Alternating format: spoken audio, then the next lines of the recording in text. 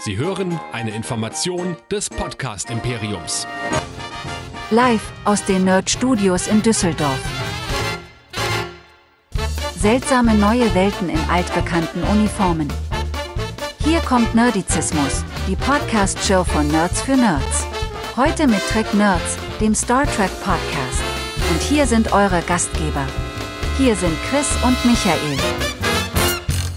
Herzlich willkommen zu den Track Nerds zum dritten Mal, zum fünften Mal, zum zwanzigsten Mal heute, aber zum letzten Mal für Strange New Worlds. Der Show, wo wir alles sehen, nur keine seltsamen neuen Welten. Dafür seltsames Gesinge, seltsame Gorn und viele andere seltsame Dinge. Ich würde sagen, ich habe mal so zwei, drei Feedback-Sachen rausgesucht, während ich hier die ganze Zeit vor mich hingestammelt habe. Und äh, die will ich einfach mal so exemplarisch machen. Zum Beispiel auf Twitter, als ich unsere letzte Folge angekündigt habe. Da hatten wir ja durchaus schon etwas konträre Meinungen. Ihr erinnert euch, das war, glaube ich, die Folge mit dem Crossover. Ne? Das war, glaube ich, die Crossover. Nee, es war Lost in Translation. Das war die Crossover-Folge. Und nee, und dann diese ollen Sternreisenden, genau. Und der, der, nee, wir hatten Nee, welche Folge hatten wir das letzte Mal? Da hatten wir nicht das Crossover. Letzte, letzte Mal hatten wir das Crossover und äh, die Under the Cloak of War. Also Ach ja, genau. Ja, Kriegs richtig, ja, genau. Richtig, genau. Und da waren wir ja, äh, wie auch die Folge davor, schon etwas unterschiedlicher Meinung. Und dazu schreibt Dakeres auf Twitter, der unter dem Handle Dakeres1 dort zu finden ist, auf Ex-Twitter, was auch immer. Hallo zusammen, ich höre euch jetzt schon sehr lange mit Strange New Worlds, muss ich aber nun abbrechen. Sorry, Chris, aber dein Kat Katogo kategorisches, ich meine, kategorisches soll das wahrscheinlich heißen, aber dein kategorisches Schlechtreden der Serie nervt extremst. Strange New World ist eine sehr gute Star Trek-Serie mit sehr guten Charakteren. Vielleicht wäre es besser, für Strange New World einen angemessenen Kollegen zu suchen. Für Chris ist die Serie, wie es aussieht, eine Qual. PS, Paul Wesley hat sich echt gefangen. In der ersten Folge hatte mir nicht gefallen, aber hier in der zweiten ist er ein guter Kirk. Dazu antwortete dann Zetsu21, den findet ihr auch auf Zetsu2118 auf Twitter. Gerade das Argument aus der letzten Folge, also meins, dass mich die Kleinigkeiten aufregen würden. Hast du mal, also ich, die alten Folgen angeguckt? Die sind durchseucht damit. Sind die dadurch schlecht? Nein. So. Hier, was mache ich denn jetzt damit? Musst du dir jemand Neues suchen? Hör ich auf. Ich höre auf. Ja? Das Internet hat gesagt, ähm, ich soll aufhören, ich höre auf. Nee, wir, wir, leben doch davon, dass wir uns ein bisschen gegeneinander aufreiben, was das angeht. Und ich glaube, das wird sich in den letzten zwei Folgen auch nicht ändern. Und ich muss halt für jeden hier mal äh, eine Lanze brechen, der die Serie gut findet, denn ich bin weiterhin richtig, richtig begeistert und bin ein Riesenfan der letzten beiden Folgen und auch der gesamten Staffel. Also ist doch gut, wenn man verschiedene Meinungen hat. Wir reden doch ständig über Diskussionskultur, hatten wir in einem der letzten Podcasts auch. Und da passt es doch, wenn da eine konträre Meinung zu auch dabei ist. Heißt, wir bilden das gesamte Spektrum des Fandoms ab, ne? Ja, entweder könnte man so sagen, aber es ist ja der Punkt, verstehst du? Ich, ich, ich der, der, also was mich halt wirklich wundert, ist, dass ich mich wirklich wiederhole und ich weiß nicht, wie oft ich das noch sagen muss. Eigentlich in jedem Podcast aufs Neue. Ja. Wir reden natürlich hier über ein ganz anderes Niveau als noch bei Discovery und vor allem bei Picard. Also das ist, das ist ja, steht ja außer Frage. Ja. Trotzdem finde ich, und da kann man mir auch nicht, früher war es auch so, nochmal, ich ich muss, glaube ich, so ein T-Shirt tragen, wo das draufsteht, ja. Äh, wir sind 30, 40 Jahre im Serienwriting weiter. Man lernt doch dazu. Ja, also man, man kann doch nicht einfach sagen, ja, früher haben die auch solche Patzer gemacht, also können wir das heute auch machen. Ja, früher musste man Autos halt mit einer Kurbel anschmeißen. Hm, warum sollen wir uns weiterentwickeln? Es hat ja auch geklappt. Ja, also das finde ich halt eine ziemlich, naja, sagen wir mal, eine sehr hinkende Argumentation. Ähm, das ist der erste Punkt. Und der zweite Punkt ist halt auch, dass wenn die Geschichte gut ist und ich reinkomme in die Geschichte und ich eintauchen kann in dieses Universum, weil das Universum für sich in diesem Moment, in diesen 45 Minuten für mich schlüssig ist und Sinn macht, dann ist natürlich klar, dass da ganz viele Dinge auch einem durchgehen, weil man aber in der Geschichte gefangen ist. Wenn ich aber schon das Problem habe, dass ich, wie übrigens auch in diesen beiden Folgen wieder, ich gar nicht erst reinkomme in die Geschichte, weil die Herleitung so unglaublich überkonstruiert und unglaublich kompliziert ist und dazu nichts Originäres zeigt, sondern wieder mal same, same, but different, dann habe ich halt damit einfach ein Problem. Und dann kann man auch nicht sagen, ja, hast du mal die alten Folgen geguckt, die sind durchseucht damit. Natürlich sind die durchseucht damit. Aber da war die Geschichte halt im Zweifel einfach besser.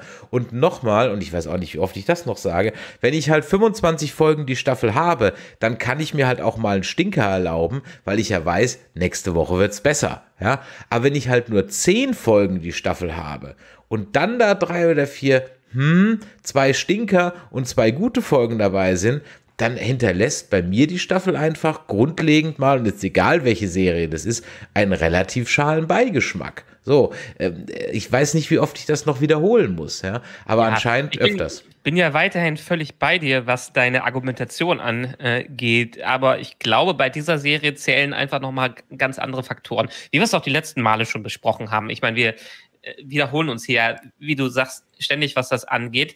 Äh, für mich ist das eine viel gut Serie. Für mich ist das auch eine gute Star Trek Vibe Serie und für mich macht sie ehrlich gesagt vieles neu, was die anderen Serien noch nicht neu, neu gemacht haben. Ja, du magst vielleicht vermissen, dass nicht unbedingt neue äh, philosophische Fragen aufgeworfen werden und dass äh, vielleicht es nicht das Storytelling der äh, im, auf einem Niveau mit äh, vielleicht sowas wie Expanse und Ähnlichen ist. Haben wir alle schon drüber geredet. Aber ich finde, für das, was diese Serie uns abliefert, weiterhin, und das bestätigt mir jetzt, bestätigen mir auch die letzten zwei Folgen, ist es das Highlight, was wir im New Track bisher gehabt haben. Und ich bin absolut zufrieden mit dem, was mir gerade geboten wird. Natürlich habe ich einen gewissen Anspruch, dass ich auch Science Fiction haben möchte, die mich For All Mankind mäßig ähm, amüsiert und unterhält. Aber ich glaube, in dieser Iteration zumindest in diesen Serien ist Star Trek einfach nicht auf diesem Weg unterwegs, sondern auf einem anderen Weg unterwegs. Und das habe ich wenigstens für Strange New Worlds für mich akzeptiert und deshalb tauche ich jetzt viel, viel mehr da ein und habe riesig viel Spaß an solchen Episoden wie Subspace Rhapsody, bei der ich die ganze Zeit einfach nur grinsen musste. Auch bei den Wiederholungen, wenn ich es nochmal gehört oder gesehen habe. Hey, du bist so einfach zu begeistern. Es ist unglaublich. Ähm, ich, ich bin ja kein, ich bin ja kein klassischer Musical-Gucker. Mit Cats kannst du mich ja jagen, was das angeht. Aber äh, gib mir Hamilton, sag es, ja, sag es doch, Hamilton, sag es doch, Hamilton. Hamilton, Diesen Book Quatsch of Mormon, diese, diese ganzen Sachen, die äh, Avenue Q, großartig. Und ja, ich weiß, Hamilton ist einfach nicht dein Musikgeschmack, was das ist. Aber was Lin-Manuel Miranda da abgeliefert hat, von den Lyrics, von der Musik her im Genre, das du vielleicht nicht magst, ist absolut grandios und da stimmen auch alle Kritiker dem zu. Das ist dann vielleicht einfach nur eine Geschmackssache. Und deshalb, ich liebe ja auch TV-Musical-Episoden und einige TV-Serien haben ja schon Musicals äh, gemacht. Es war nicht erst nach Buffy, sondern auch schon vor Buffy gab es von ganz vielen anderen Serien Musical-Episoden.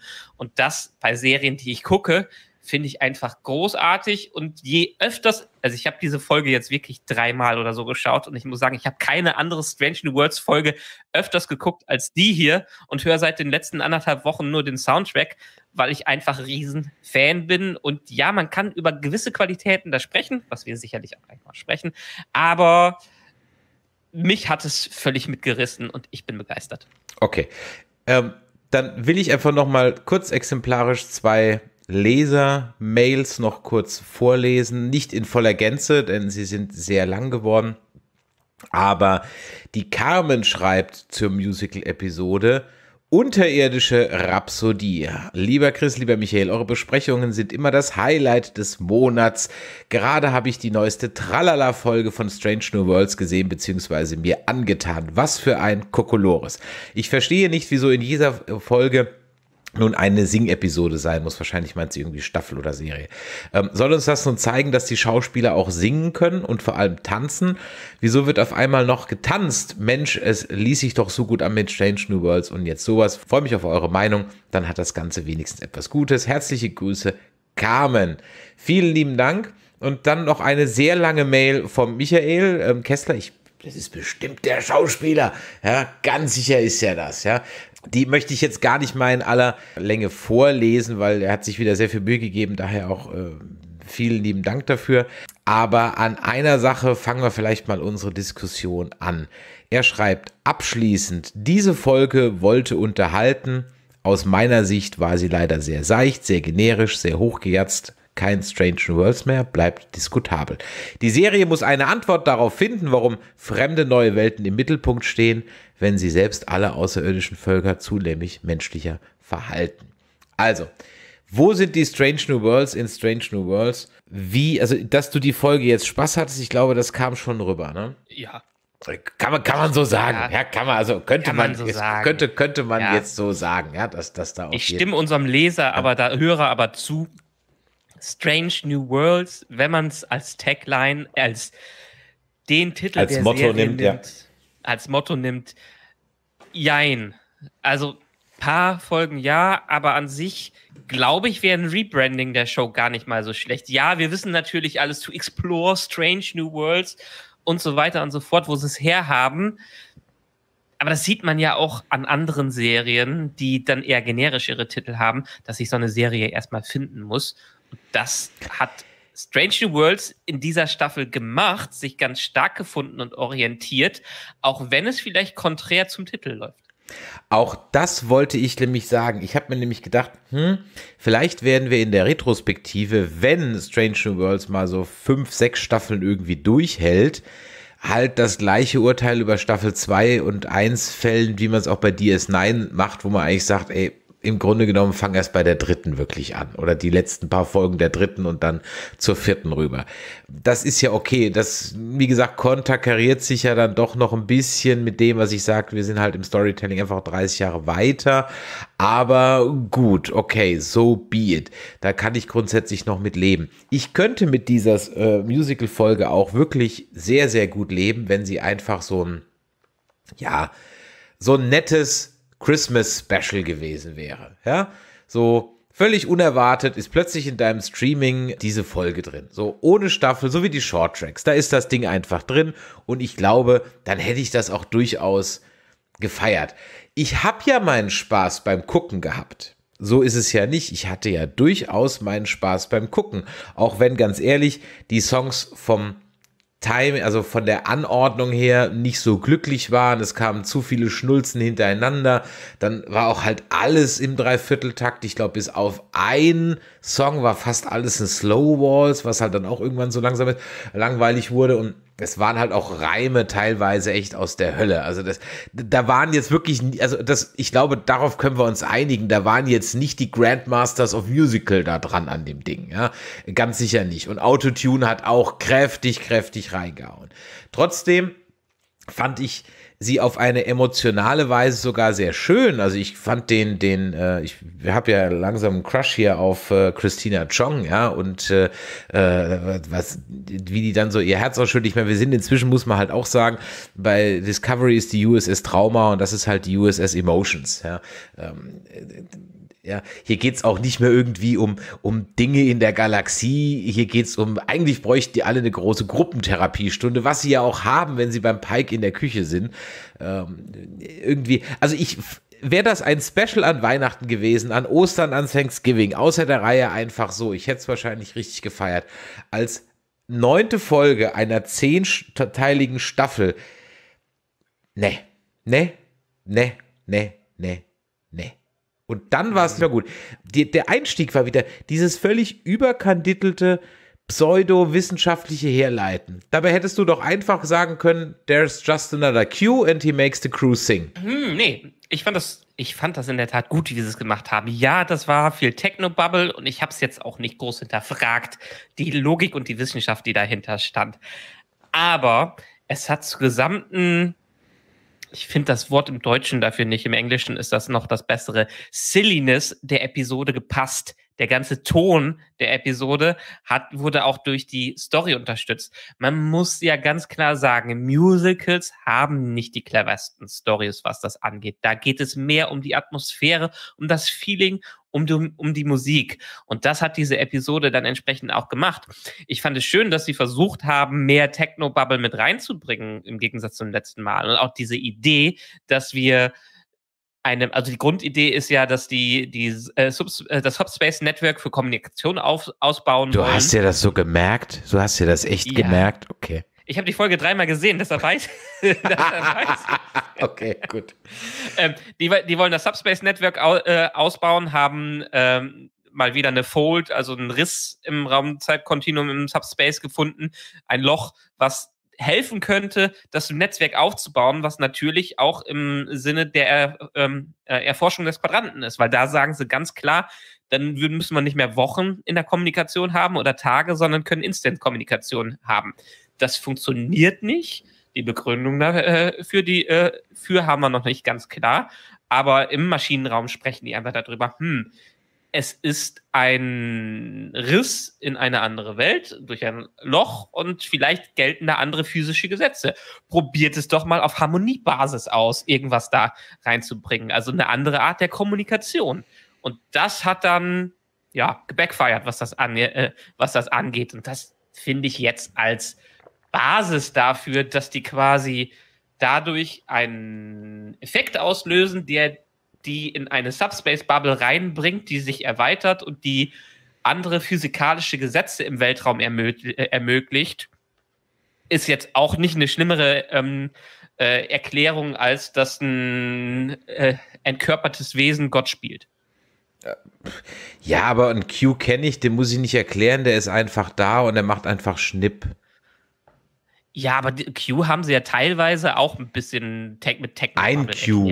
Muss ja nicht Q, John Delancey Q sein, kann ja ein Q Ja, aber das, sein. Q- das Q-Kontinuum haben sie ja erklärt, dass die einfach auf einer anderen Ebene äh, leben. Also Ja, gut, okay, pass auf, ich, ich gebe mir selber einen Punkt, ähm, einen, einen Minuspunkt, hätten sie einen Q reingebracht, hätte ich ja wieder gesagt, Moment mal, die kennen doch Q noch gar nicht. Ja, okay, Genau, genau. Also, es wäre jetzt- trotzdem besser gewesen. ob wir, ob wir ein magisches Portal haben, das uns in die Vergangenheit Okay, schmeißt, ob enough. wir ein Wesen haben, das Gott spielt, ob wir einen Typen haben, Ein der Virus, ein Virus. In einem, ob wir einen Typ haben, der in einem äh, Gummianzug rumhüpft und wie eine Echse aussieht. Was natürlich die technischen Moment, manche. Leute machen das als Hobby. Ja, Ja, aber deshalb, wir wollen uns ja nicht belustigen über Cosplayer. Deshalb, das ist ein ernst gemeintes Hobby. Dementsprechend, ja, also ich sag, für mich war die Erklärung genug, um das einzuleiten, um zu sagen, warum die jetzt in einer Realität sind, die auf Musik, die ein bisschen verschoben ist in der Physikalität. Und das ist für mich einer der Stärken der Episode, dass die diese Silliness reinbringen, aber die noch ge ja, bodenständig mit reingebracht haben. Ich, Anson Mount, groß, wunderbar, fantastisch in dieser Episode. Sein Gesicht, was man die ganze Zeit da liest, wie er verzweifelt ist und nicht weiß, was los ist und wie es ihm tierisch auf den Keks geht, dass die da plötzlich alle anfangen äh, zu singen. Allein, dass er den Schluss des ersten großen Liedes Status Report hat und da quasi reinschreit, äh, but why are we singing? Ah, was machen wir hier? Also dieses, äh, dass sie alle selber kapieren, ey, das ist hier komplett gerade abgefahren, was wir machen. Wir wollen das alle nicht tun und wir machen uns gerade selber lächerlich. Und wie schalten wir das ab? Also zum einen, dass ich gerade nebenher googeln musste, ob es das Wort Physikalität gibt. Ja, wo mir dann fremdwort.de sagt, meinten Sie physikalisch? Finde ich das, Englisch, was. Physicality. Ja, finde ich das, was der Galax im Chat schreibt, äh, ganz interessant. Die Schwäche der Episoden war, dass nur Musik kam, wenn gesungen wurde, wenn die Führungskräfte emotional wurden. Was war mit den anderen 390 Crewmitgliedern? Ähm, dann hätte sicherlich noch ein bisschen mehr so, ja, wie so eine, also dass man die anderen halt auch so sieht. Die sind so ein bisschen getanzt, ja, okay, warum tanzen die dann eigentlich noch? Ich habe gecringed bei All-American Songbook, da dachte ich also, ja, genau, und von allen Aliens muss es natürlich das All-American Songbook sein, ja. Ja, Dann hätte ich- sendet es ja ab. Ja, aber das ist halt das Erste, was. Nein, stopp. ich habe Ja. deswegen gekriegt, weil es wieder das erste ist, was hier einfällt. Als, als, aber das, das ist ja das Problem, das hatten wir in TNG ja auch. Also die, die Musik in Star Trek hat ja irgendwann 1980 aufgehört zu existieren. Es kommt ja definitiv nichts Neues mehr und es werden ja auch keine äh, Romane mehr na, oder keine Stücke mehr nach Shakespeare geschrieben. Also gibt's de facto gar nicht mehr. Ja, ähm, um, Ja. und äh, Mark Twain vielleicht noch, aber danach kam auf gar keinen Fall noch mal irgendwas. Und ja, okay, das ist natürlich so Man ein bisschen kann ja das, Mickey Mouse und. Co. nicht aus lizenzrechtlichen Gründen benutzen. Es ist ja alles gemeinfrei, was in Star Trek benutzt wurde. Äh, Hatten sie noch, aber bei, äh, bei Discovery hatten sie Buster Keaton. Also genau, Komiker nach Buster Keaton gibt's auch keine mehr. Stimmt, genau. Ja. Ja, ja ähm, ich stimme dem Galax zu, was die im Hintergrund angeht. Da habe ich als Beispiel vielleicht die Buffy-Episode, die ja ein paar kleine wunderbare Stücke mitbringt, äh, bringt, wie mit dem Senf. They got the mustard out. Und äh, wo dann eine singt darüber, dass sie gerade ein Parking-Ticket bekommt und die daraus eine riesige Nummer machen. Was auch interessant im, im Hintergrund der Buffy-Episode ist, dass die genau diese zwei Lieder bekommen haben, ähm, gemacht haben, um große Ensemble-Nummern und großes, große Choreografie mit reinzubringen, damit der Druck nicht auf den Originalcast-Mitgliedern äh, liegt, dass die so krass performen müssen, damit man den Druck erstmal rausnimmt aus dem Rest der Episode. Das ist übrigens, das bringe ich doch nochmal die Mail von deinem Namensvetter rein, der nämlich genau das bei Once More with a Feeling nämlich reinschreibt. Das hat deswegen nämlich so gut funktioniert, weil Handlung und Text passten zusammen. Und es wurden über die Musical-Passagen mehrere Handlungsbogen aufgegriffen und weitergeführt. Und insbesondere so weitergeführt, dass sich relevante Änderungen für Charaktere und Konstellationen ergaben. Denn zur Episode im den zur Episode entschiedenen Soundtrack habe ich mir nach A Subspace Rhapsody gleich zum Vergleich nochmal länger angehört und qualitativ ist er im Kontext High School Coming of Age Teen Horror Serie weiterhin extremst gut. Dagegen, dagegen klingen die Lyrics bei Subspace Rhapsody einfach generisch. Es reimt sich, weil es sich reimen muss. Ortegas at Ja. the helm, the pilot seat is my realm. Ja, ähm, das, das ist das, was ich eben meinte.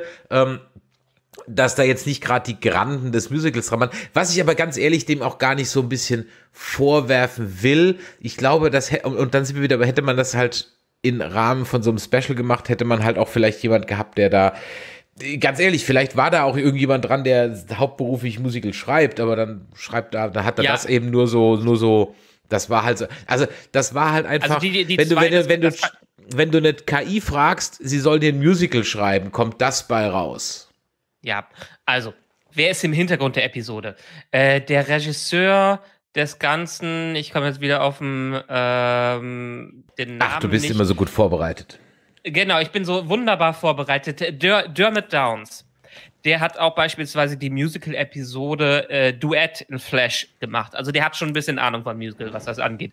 Und die beiden, die jetzt die Songs geschrieben haben, die haben jetzt bewusst nicht wie bei Buffy genommen, dass sie es selber geschrieben haben, sondern dass sie jemanden beauftragt haben, sind halt so klassische Pop-Schreiber, Ja, was das ja. anging.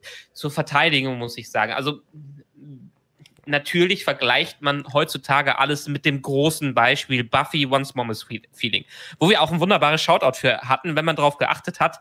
Die Bunnies, die Häschen, waren direkter Verweis auf eins der Lieder in Once More, mit Fe Once More with Feeling, was die auch selber gesagt haben, dass das ein Easter Egg dafür ist.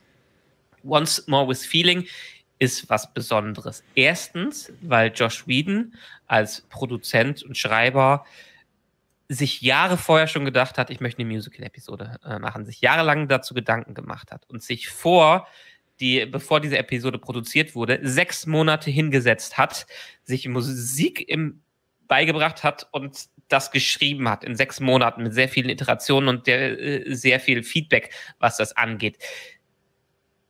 Das glaube ich nicht, dass das ansatzweise an Zeit da reingeflossen ist. Also, und dass man das heute auch noch schwer machen kann, so viel Zeit da reinzusetzen. Also von der Qualität her, Josh Whedon hat natürlich auch clevere, der kann clevere Dialoge schreiben. Der ist ein witty Schreiber, was das an, äh, angeht. Und das ist seine große Stärke. Und er hat ja auch dann später noch zum Beispiel Dr. Horrible Sing-Along Block geschrieben, was auch ein ganz großartiges Musical ist, mit, ähm, äh, mit sogar einem äh, Behind the Scenes, was auch ein eigenes Musi Musical-Album ist, wo die äh, ganz quasi als Behind the äh, Scenes, als Produktionsinfo auch nochmal ein Album geschrieben haben, was 2007 während des Writer Strike passiert ist. Eigentlich bräuchten wir jetzt eine Fortsetzung von Dr. Horrible, weil wir wieder einen Writer's Strike da haben. Aber ich, ich springe gerade sehr viel. Da möchte ich an der Stelle nochmal ganz kurz einhaken und ich werde das auch in den Show Notes und jetzt im Chat verlinken. Du hast mal einen längeren Blogartikel zu Dr. Horrible Singalong verfasst. Ach echt? Das war 2016, ja, das weißt du schon gar nicht mehr, aber ich habe mich dran erinnert. 2016, meine Güte, das ist sieben Jahre her. Krass. Äh, nee, kann ich mich nicht mehr dran erinnern, aber es ist ganz, ganz großartig. Ich kann es immer noch empfehlen. Das ist auch, seitdem ich die Episode gehört habe, habe ich natürlich nochmal verglichen. Ich habe mir nochmal alles, äh, alles angehört, was an großartigen Musical-Episoden da war. Beispielsweise Scrubs hatte auch eine großartige Musical-Episode, die da drin war. How I Met Your Mother hat viel Mu Musik äh, reingebracht. Ähm, die haben ja, die sind teilweise dann doch höherwertiger, was das angeht. Aber nachdem ich mir wirklich bestimmt 20, 30 Mal diese, die Musik von denen angehört habe, jetzt von diesem Musical, muss ich sagen, sie hat definitiv ihre Berechtigung und geht ins Ohr. Ich habe ein, nur einen einzigen Titel, den ich in diesem ganzen Ding einfach nicht gerne höre und der für mich ein kompletter Fail ist in dem Ganzen, der auch überhaupt nicht da reingehört. Dieses Keeping Secrets von Number One. Das fand ich so kitschig und schlecht und ich skippe es immer wieder, wenn ich äh, darüber gehe von den Tracks. Aber ansonsten, wenn man dem eine Chance gibt und sich reinhört, dann hat jedes dieser Lieder eine gewisse Berechtigung. Und ja, wenn auch einige Texte darin sehr cringig sind, muss ich zugeben, ist es meiner Meinung nach im Rahmen dieser Episode gerechtfertigt, weil die einfach diese Silliness, ich bin muss englischen Silliness embracen. Ich komme jetzt umarmen, blöd, ja? umarmen, weil sie voll da reingehen und äh, dementsprechend mit einem zwinkernden Auge sich das Ganze anschauen. Und deshalb passt es für mich auch wieder. Ich, ein, mein Lieblingslied darunter, das Connect Your Truth von äh, was Uhura singt, ähm, das kann ich mir tausendmal am Stück anhören. Ich finde den Text aber teilweise echt grottig, den die damit äh, reinbringt und wie, äh, den die dafür ge für geschrieben haben. Trotzdem liebe ich dieses Lied. Also es passt zum gesamten Thema der Episode, dass die einfach dieses sehr strange, sehr silly-mäßige drin haben und das, das deshalb deshalb kann man dem eine Chance geben. Und bei den meisten Musicals ist es bei mir in der Tat auch so, gerade bei den Sachen, die beispielsweise Lin Manuel Miranda geschrieben hat, ich muss die zwei, dreimal hören, bis ich komplett drin bin. Und Hamilton musste ich auch beim ersten Mal gucken, immer wie, habe ich auch gedacht, mm, das ist jetzt schwierig anzuschauen. Man muss dem Ganzen folgen, werden die da im Seku äh, Millisekundentakt Wörter raushauen. Und die Musik ist dann auch nicht immer so ein Ding, was mir am ersten Mal gefallen hat. Aber beim erneuten Reinhören, und das ist bei mir auch hier, genauso wie bei den Sachen wie Hamilton ähm, oder diese Episode, man muss dem eine Chance geben und dann kann man erst wertschätzen, wie viel Blick fürs Detail dann doch da reingeflossen ist. Hm. ja, ich lasse das jetzt mal so vom äh, deinem Musical-Ohr einfach mal so stehen und sage, okay, dir hat's gefallen. Ich fand die Songs, wie gesagt, die Songs waren okay, sie waren halt nichts Besonderes und am Broadway kriegt das Ding zwei Spielzeiten und danach, wenn kein Star Trek draufstehen würde, wäre es vorbei. Ich frage mich halt, was bleibt von dem Ding jetzt? Äh, ich, es gibt ja zumindest mal zwei kleine loreweise Geschichten, die möchte ich an dieser Stelle mal nicht unerwähnt lassen. Zum einen haben wir hier dann die erste offizielle Erwähnung von Dr. Carol Marcus, die auch schon schwanger ist. In TOS kommt sie nie wieder vor, hier jetzt aber dann schon. Also gut, okay, haben wir das jetzt auch. Damit bricht ja dann natürlich auch äh, Christina Chongs Hart. Bleibt für mich ja noch Hoffnung, ist sie also immer noch Single. Fantastisch, kann ich ja mal anrufen. Ähm, und äh, es wird dann auch gleichzeitig der Dr. Corby erwähnt, der übrigens Nurse Chapels Lover dann wird äh, in TOS. Also von daher auch hier ist die Liaison äh, mit Spock dann wohl demnächst auch zu Ende. Äh, ich bin gespannt, ob sie dann die ähm, JJ-Line mit Hura nochmal aufgreifen oder ob sie das auch sein lassen. Ich bin gespannt. Keine Ahnung. Mal gucken, was sie, was sie daran machen. Ich habe allerdings noch zwei Sachen notiert äh, die wollte ich zumindest nicht unerwähnt lassen. Ähm, zum einen hast du gerade ein Stichwort gesagt, ja, Silliness. Und ich weiß nicht, wie oft es jetzt schon den Gag gab, dass irgendwie auf der Brücke dann Captain gesagt wird und Riker und Picard drehen sich gleichzeitig um. Oder hier halt jetzt der Kirk-Gag, Kirk und beide. Apropos Kirk, hat er eigentlich keinen anderen Job? Also, ist, fliegt dieses Raumschiff permanent am Arsch der Enterprise, das andere? Oder, oder wieso ist der eigentlich dauernd da? Also, das, also es ist halt langsam so ein bisschen so, also ich finde, da hätte man sich irgendwie ein Austauschprogramm einfallen lassen können oder irgendwas, das ja. ist einfach ein Ticken besser erklärt, warum der die ganze Zeit da rumhüpft. Ja.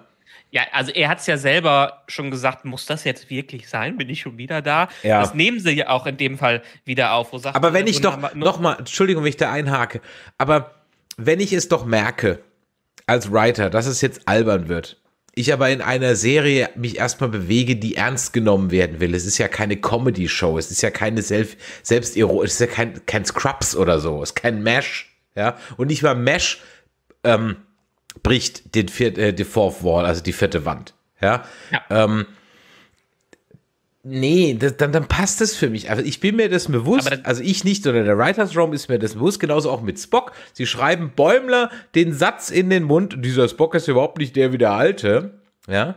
Ähm, das heißt, sie, sie legen es ihm in den Mund, sind sich also dessen voll bewusst und machen es halt trotzdem nicht. Und das ist halt in meiner Star Trek-Welt und nochmal meine subjektive, meine kleine Star Trek-Bubble-Welt, die das Ganze halt irgendwo ernst nimmt, sonst würde ich halt eine Comedy, sonst gucke ich die Orville, ja. Und nicht mal bei der Orville machen sie so Nummern. Also nicht mal die Orville mhm. ist sich selber seiner Silliness, um in deinem Wording für heute zu bleiben, bewusst und, und macht da irgendwie was. Zumindest habe ich gerade kein Beispiel dafür. Und das gehört aber das gehört zu einer Musical-Episode, gerade bei so einer. Ja, aber sie, äh, aber sie machen es ja nicht nur, also die machen es ja nicht nur, die haben es ja auch in der, in der Lower Decks Crossover-Folge gemacht. Also dann sind wir wieder bei dem, okay, mach solche Gag-Folgen, mach es als Special einmal im Jahr, wie der Simpsons äh, Halloween-Special, okay, fair enough und ich feier's. Pack es in eine reguläre Season und ich habe echt ein Problem damit. Lass es mich so sagen. Ja, ich meine, äh, ich hatte sie ja letztens geschickt, einer der Produzenten hat selber gesagt, er würde gerne deutlich mehr Episoden bekommen. Also auch hier sind sie wie sich selber wieder bewusst, dass es für eine Star Trek Show wie Strange Worlds das Potenzial hat, deutlich mehr Episoden braucht, um das Ganze zu entwickeln. Ich glaube, ich sehe jetzt auch Staffel 1 und 2 so ein bisschen als Staffel zusammen, was das an, angeht. Für mich sind, bilden diese, äh, diese 20 Episoden ein rundes mhm. Ding, was das angeht. Ähm, aber auch hier wieder, ja, ich stimme dir auch zu. Wir haben jetzt zwei Special-Episoden fast hintereinander gehabt. Die hätten ein bisschen Abstand haben müssen. Haben wir letztes Mal auch schon gesagt, ein paar Episoden dazwischen.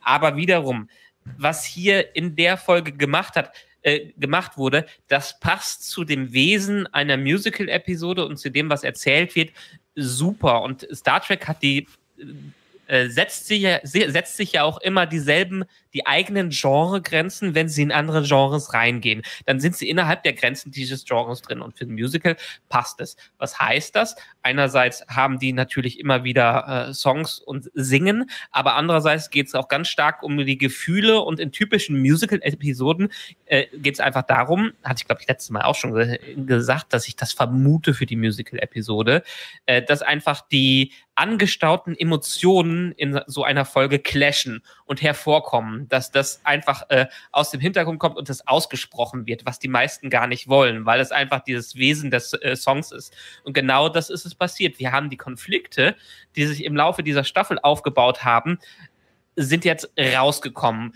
Ähm, Uhura hat das Problem, dass alle ihre Mentoren und alle, denen sie etwas näher kommt, äh, äh, draufgehen und sie alleine weit, äh, weitermachen muss und ihre Position finden muss. Ähm, Spock wurde hier ganz klar erwähnt, ja, er hat sich geöffnet, er hat seine Emotionen, die menschlichere Seite offen gelassen, er hat sich auf die Beziehung mit Chapel eingelassen und wurde gebrandmarkt, was das an, angeht. Der hat jetzt Pech gehabt, weil er jetzt verlassen wurde. Er ist der Ex, was das angeht. Und das bringt ihn jetzt wahrscheinlich dazu, wenn es nicht im Finale noch ein bisschen wieder redigiert worden wäre, äh, mehr zu dem Spock zu werden, den wir kennen. Pike hatte in dieser ganzen Staffel äh, so bisschen Kommunikationsprobleme in der Beziehung und die kommen auch nach äh, vorne, was das angeht. Chapel, der ist zwiegespalten zwischen einerseits hängt sie sich immer an irgendwen äh, dran. Das war ja einer unserer Kritikpunkte, dass sie keine eigene Story hat. Jetzt bekommt sie eine eigene Story und muss sich aber dafür von dem trennen, was sie eigentlich dann doch haben wollte und findet zu sich selbst, was das angeht. Ähm, äh, Laan äh, hat die Sache, dass sie in Kirk total verschossen ist und nicht aus ihrer ja ähm, äh, aus ihrer Introvertiertheit rauskommt, dass sie sich nicht öffnen möchte. Das kommt dabei raus. Nummer eins hat das Problem, ähm, dass sie den Titel ihrer Vorbildfunktion annehmen muss und annehmen möchte und das in dieser Folge auch akzeptiert. Und äh, ja, Kirk, der ist noch ein bisschen Bonus noch dabei. Aber letztendlich, letztendlich, was ich damit sagen will, es ist passiert genau, was in Musical-Episoden äh, passiert. Die innersten Gefühle, die Konflikte brechen heraus, die werden offengelegt und das führt zu Brüchen, das führt zu Diskussionen aber am Ende in dieser Episode auch dazu, dass alle ein bisschen stärker oder mit einer gewissen Perspektive dabei rauskommen, dass wir jetzt in einem anschließenden Finale, was äh, dabei passiert, in eine Richtung gehen können, die unsere Serie vielleicht in eine ganz andere Traje äh, äh Richtung werfen kann und zeigt, jetzt haben sie sich alle ein bisschen selber gefunden und jetzt können wir, wie ich es letztes Mal gesagt habe, die richtig durch den Ringer bringen, durch die Knetmühlen äh, zwängen, was das angeht. Und das ist das hat diese Episode für mich voll und ganz erfüllt. Mit der Silliness, die da drin hatten, mit dem Singen, mit dem Tanzen, mit der Choreografie der Schiffe im Weltraum und der Sternenexplosion ganz am Ende, mit den Klingonen, die wie eine Boyband aufgetreten sind, wo man sich drüber streiten kann, aber ich es immer noch als Gag großartig finde, weil wenn man die Lyrics sich anschaut, passt es weiterhin zu den Klingonen und sie müssen einfach was machen, was sie gar nicht haben wollen und die versuchen, ihre Emotionen eigentlich auch in andere Richtungen zu kanalisieren. Also für mich, das passt und gibt uns jetzt ein Template, um in die nächste Phase dieser Serie einzusteigen, die ganz klar mit dem Finale startet. Was mich ja wundert ist, warum man jetzt hier auch wieder Bruce äh, Horak zurückgeholt hat, den Schauspieler des Hammer, als klingonischer Captain. Also wenn er jetzt sowieso in jeder Folge vorkommt, why kill him in the first place? ist, ist wie der Schauspieler von Veyun in äh, DS9, der ist ja auch in tausenden Rollen Jeffrey Combs, ja, ohne Scheiß. Als ich das ja, mal raus, Coombs, genau. als ich das mal rausgekriegt habe, wen der alles in Star Trek gespielt hat, das war auch so, what? Ja, genauso wie wenn dir einfällt, wenn du irgendwann mal merkst, wie wen ähm, Julian Glover alles gespielt hat. Also den kennst du ja irgendwie nur so halt als Bösewicht aus Indiana Jones 3, ja. Und dann irgendwie so, ach Moment, der war auch Admiral Viers, Moment mal, der war auch der Purcell in Game of Thrones, Moment mal, der war auch der in James Bond und der war, what, der ist ja überall, ja. ähm, das ist äh, ungefähr so, so, die, so das Gleiche. Ja, also ich, ich wie gesagt, als, als Standalone-Folge, als Special hätte ich das Ding durchaus abgefeiert. Im großen Kanon tut's mir weh, dass, und da bin ich vollkommen bei dir. Äh, diese Charakterentwicklungen, die du da alle gerade aufgezählt hast, die, die, die, die sind ja auch gut und die finde ich ja auch toll und das sind ja auch in der Tat über mehrere Folgen aufgebaute Dinge. Super, e, endlich mal, ja. Umso schade, mehr schade, dass es halt in so einer Gag-Episode, die am Ende einfach nur als eine Musical-Episode, wie der Film mit den Wahlen im Gedächtnis bleiben wird, äh, dann irgendwie ja, weiß ich nicht, es haben, es haben der ein oder andere äh, Charakterentwicklung hat es nicht verdient, dann in so einer Gag-Folge sozusagen unterzugehen. Weißt du, was ich meine? Der hätte, hätte verdient, prominenter gewürdigt zu werden, als am Ende in der, ja, es war halt die Musical-Folge unterzugehen. Vor allem, weil, wenn ich das noch kurz dazu sagen darf, ähm, die äh, auf Deutsch die Texte ja nicht übersetzt waren, also die haben auf Englisch gesungen und Deutsch gesprochen und die Untertitel grottig waren. Also die deutschen Untertitel waren wirklich grottig und sie waren nicht nur grenzwertig schlecht übersetzt. Nein, sie hatten auch, also wer auch immer das getextet hat, oder war wahrscheinlich eine KI, ich habe keine Ahnung, hat ein massives Problem mit Groß- und Kleinschreibung und kennt keine Kommasetzung. Mhm. Und wenn Groß- und Kleinschreibung halt einfach, also plötzlich ist ein und groß geschrieben, ja, und es gibt keine Kommas, dann kannst du das auch so schnell überhaupt nicht lesen. Also du mhm. kommst so schnell gar nicht mit, gerade bei einem Song halt eben nicht. Wenn du dann auch noch überlegen musst, Moment, was hat er jetzt, äh, wieso war der jetzt und groß geschrieben und keine Ahnung. Das war echt ja. super irritierend, um nicht zu sagen mehr oder weniger unmöglich, dem, wenn man jetzt kein Englisch kann, zu folgen. Das stimmt. Und deshalb sage ich auch wieder, es lohnt sich, das öfters zu hören, weil auch wieder der Begriff Silliness im Finale wurde er vor allen Dingen im Text des Finales immer mal wieder aufgegriffen, wo dann beispielsweise gesungen äh, wurde, Our Mission is our prime directive und dann Spock in einem Nebensatz sagt, äh, not really. Oder wenn die dann am Ende sagen, äh, wir singen, egal wer sich dazu hört und wie, egal wie es sich anhört, das ist einfach das, was wir machen. Äh, Finde ich toll, wie es gemacht wurde. Und ich bin da ein bisschen auch wieder anderer Meinung, was das angeht, was du äh, gerade meintest. Ich finde gerade so eine Musical-Episode, die eine gewisse Emotionalität beinhaltet, ist wunderbar dafür geeignet, genau diese Gefühle und genau diese Stories zu einem, naja, zu einem Siedepunkt zu bringen, was das, was das angeht. Und ich verstehe, warum du die ganze Zeit nicht so tief in Strange New Worlds reinkommst, wie ich drin bin, warum du dieses Ding nicht vibes.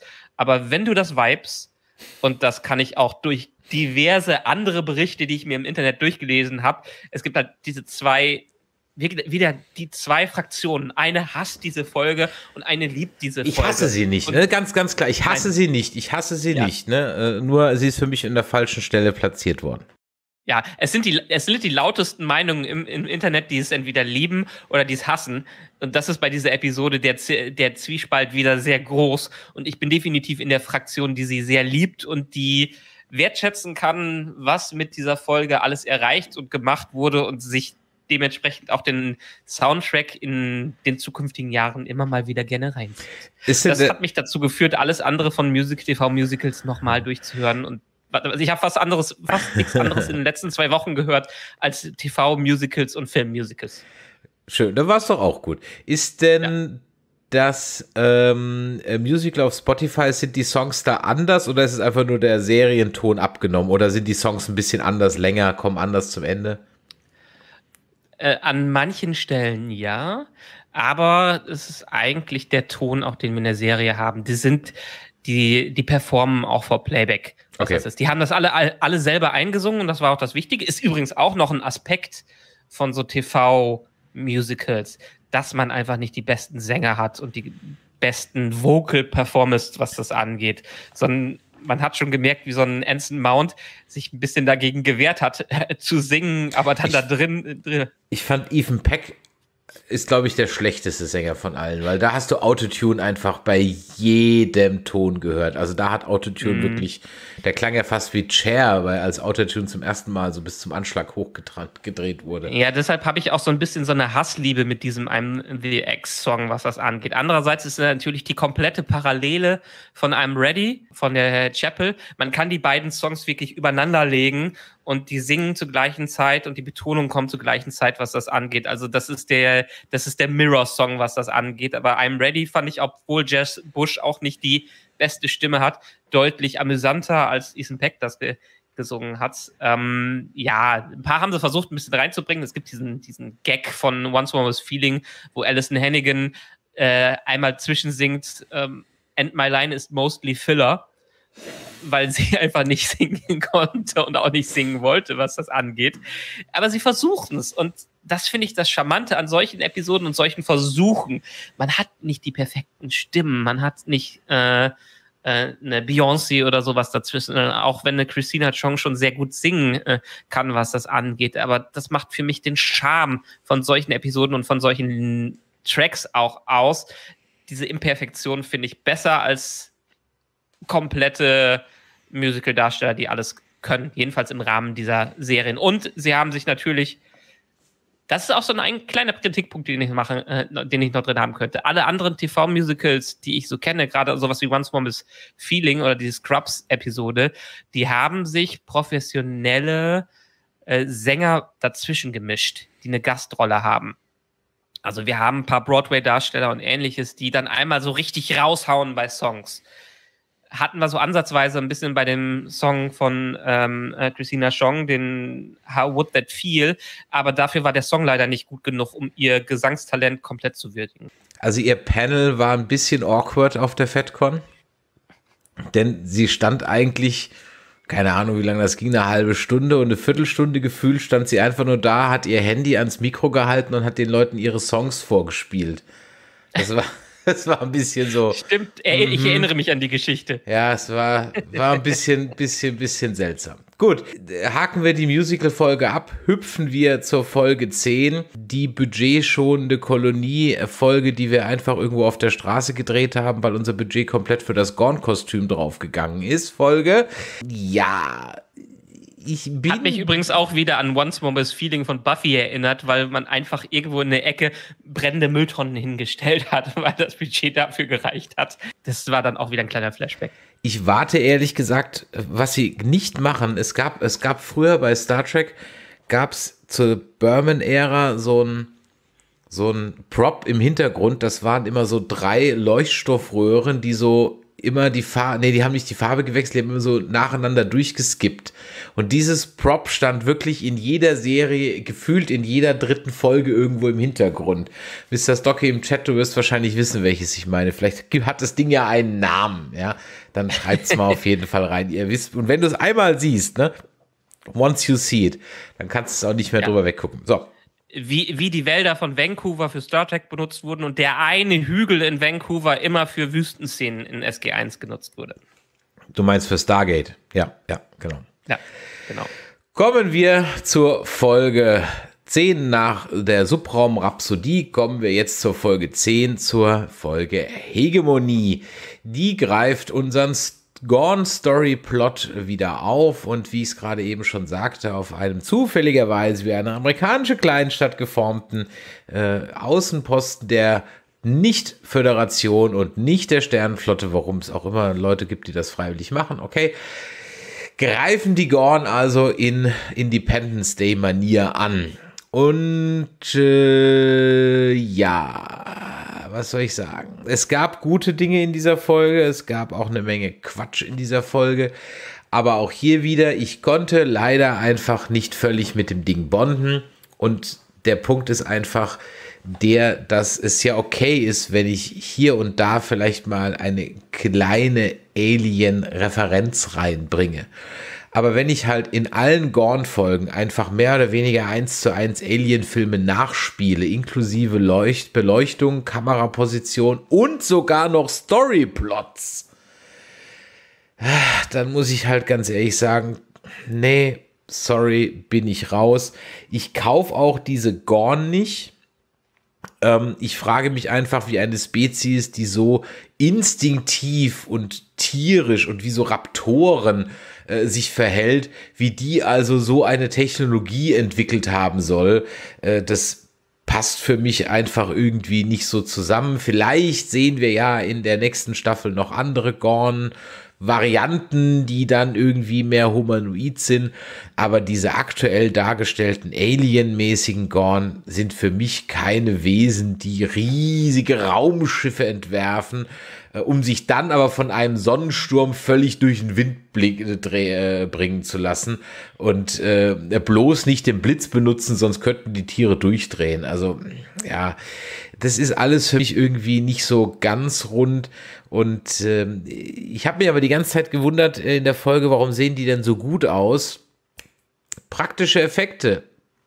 Wenn sie gut gemacht sind, sind sie einfach besser als CGI. Das muss man leider immer noch so konstatieren.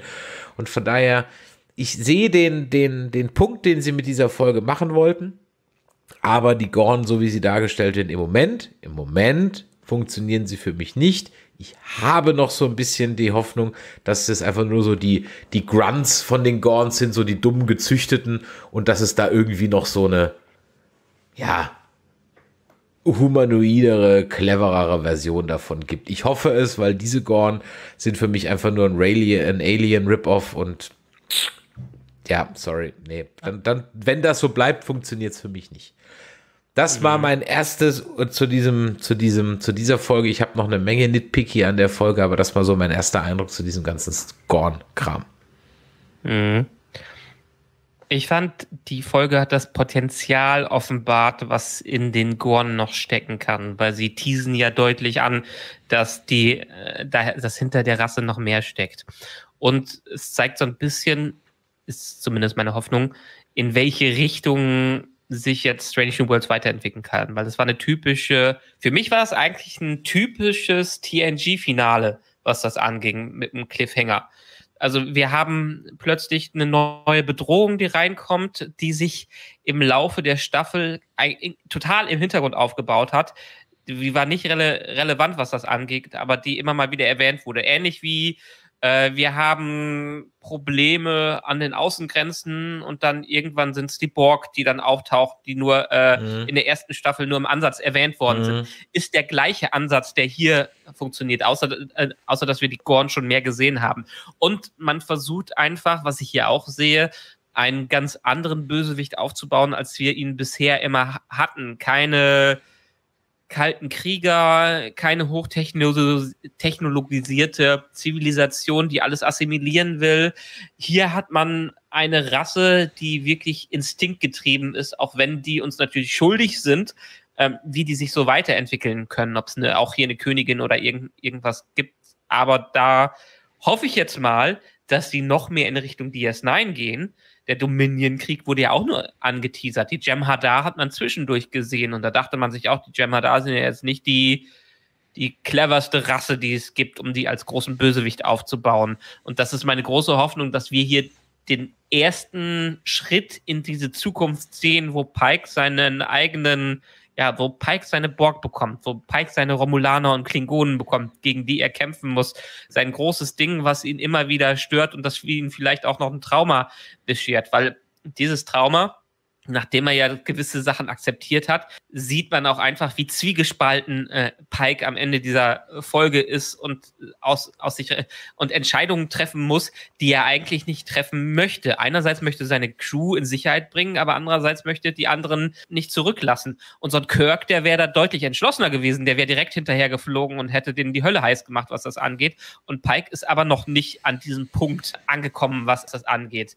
Und dafür öffnet diese Episode für mich wirklich neue Welten. Einerseits hat man natürlich wieder eine Einführung von einem Legacy-Charakter, der wahrscheinlich einen ähnlichen Gastspot haben wird in der nächsten Staffel wie Kirk.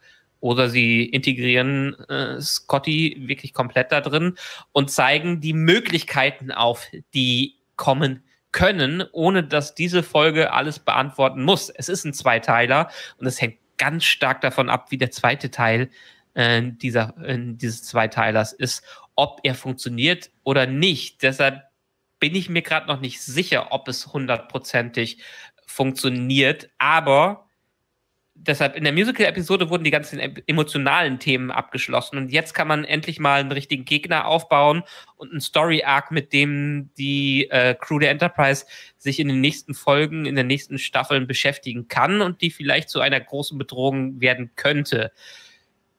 Das gesagt, bin ich auch noch nicht hundertprozentig überzeugt von den Gorn in der gegenwärtigen Form, weil sie natürlich sehr stark an Alien angelegt sind und ich mir auch noch ein bisschen was Originelleres wünsche. Aber auch hier wieder das Potenzial, wenn man Beispiel dieses, beispielsweise diesen Gorn auf dem anderen Schiff sieht, wie er scheinbar in was einzubrechen versucht, in den Computer einzubrechen äh, versucht, deutet es ja an, dass mehr hinter denen steckt, als nur die Rasse, die zum Licht getrieben ist. Hm.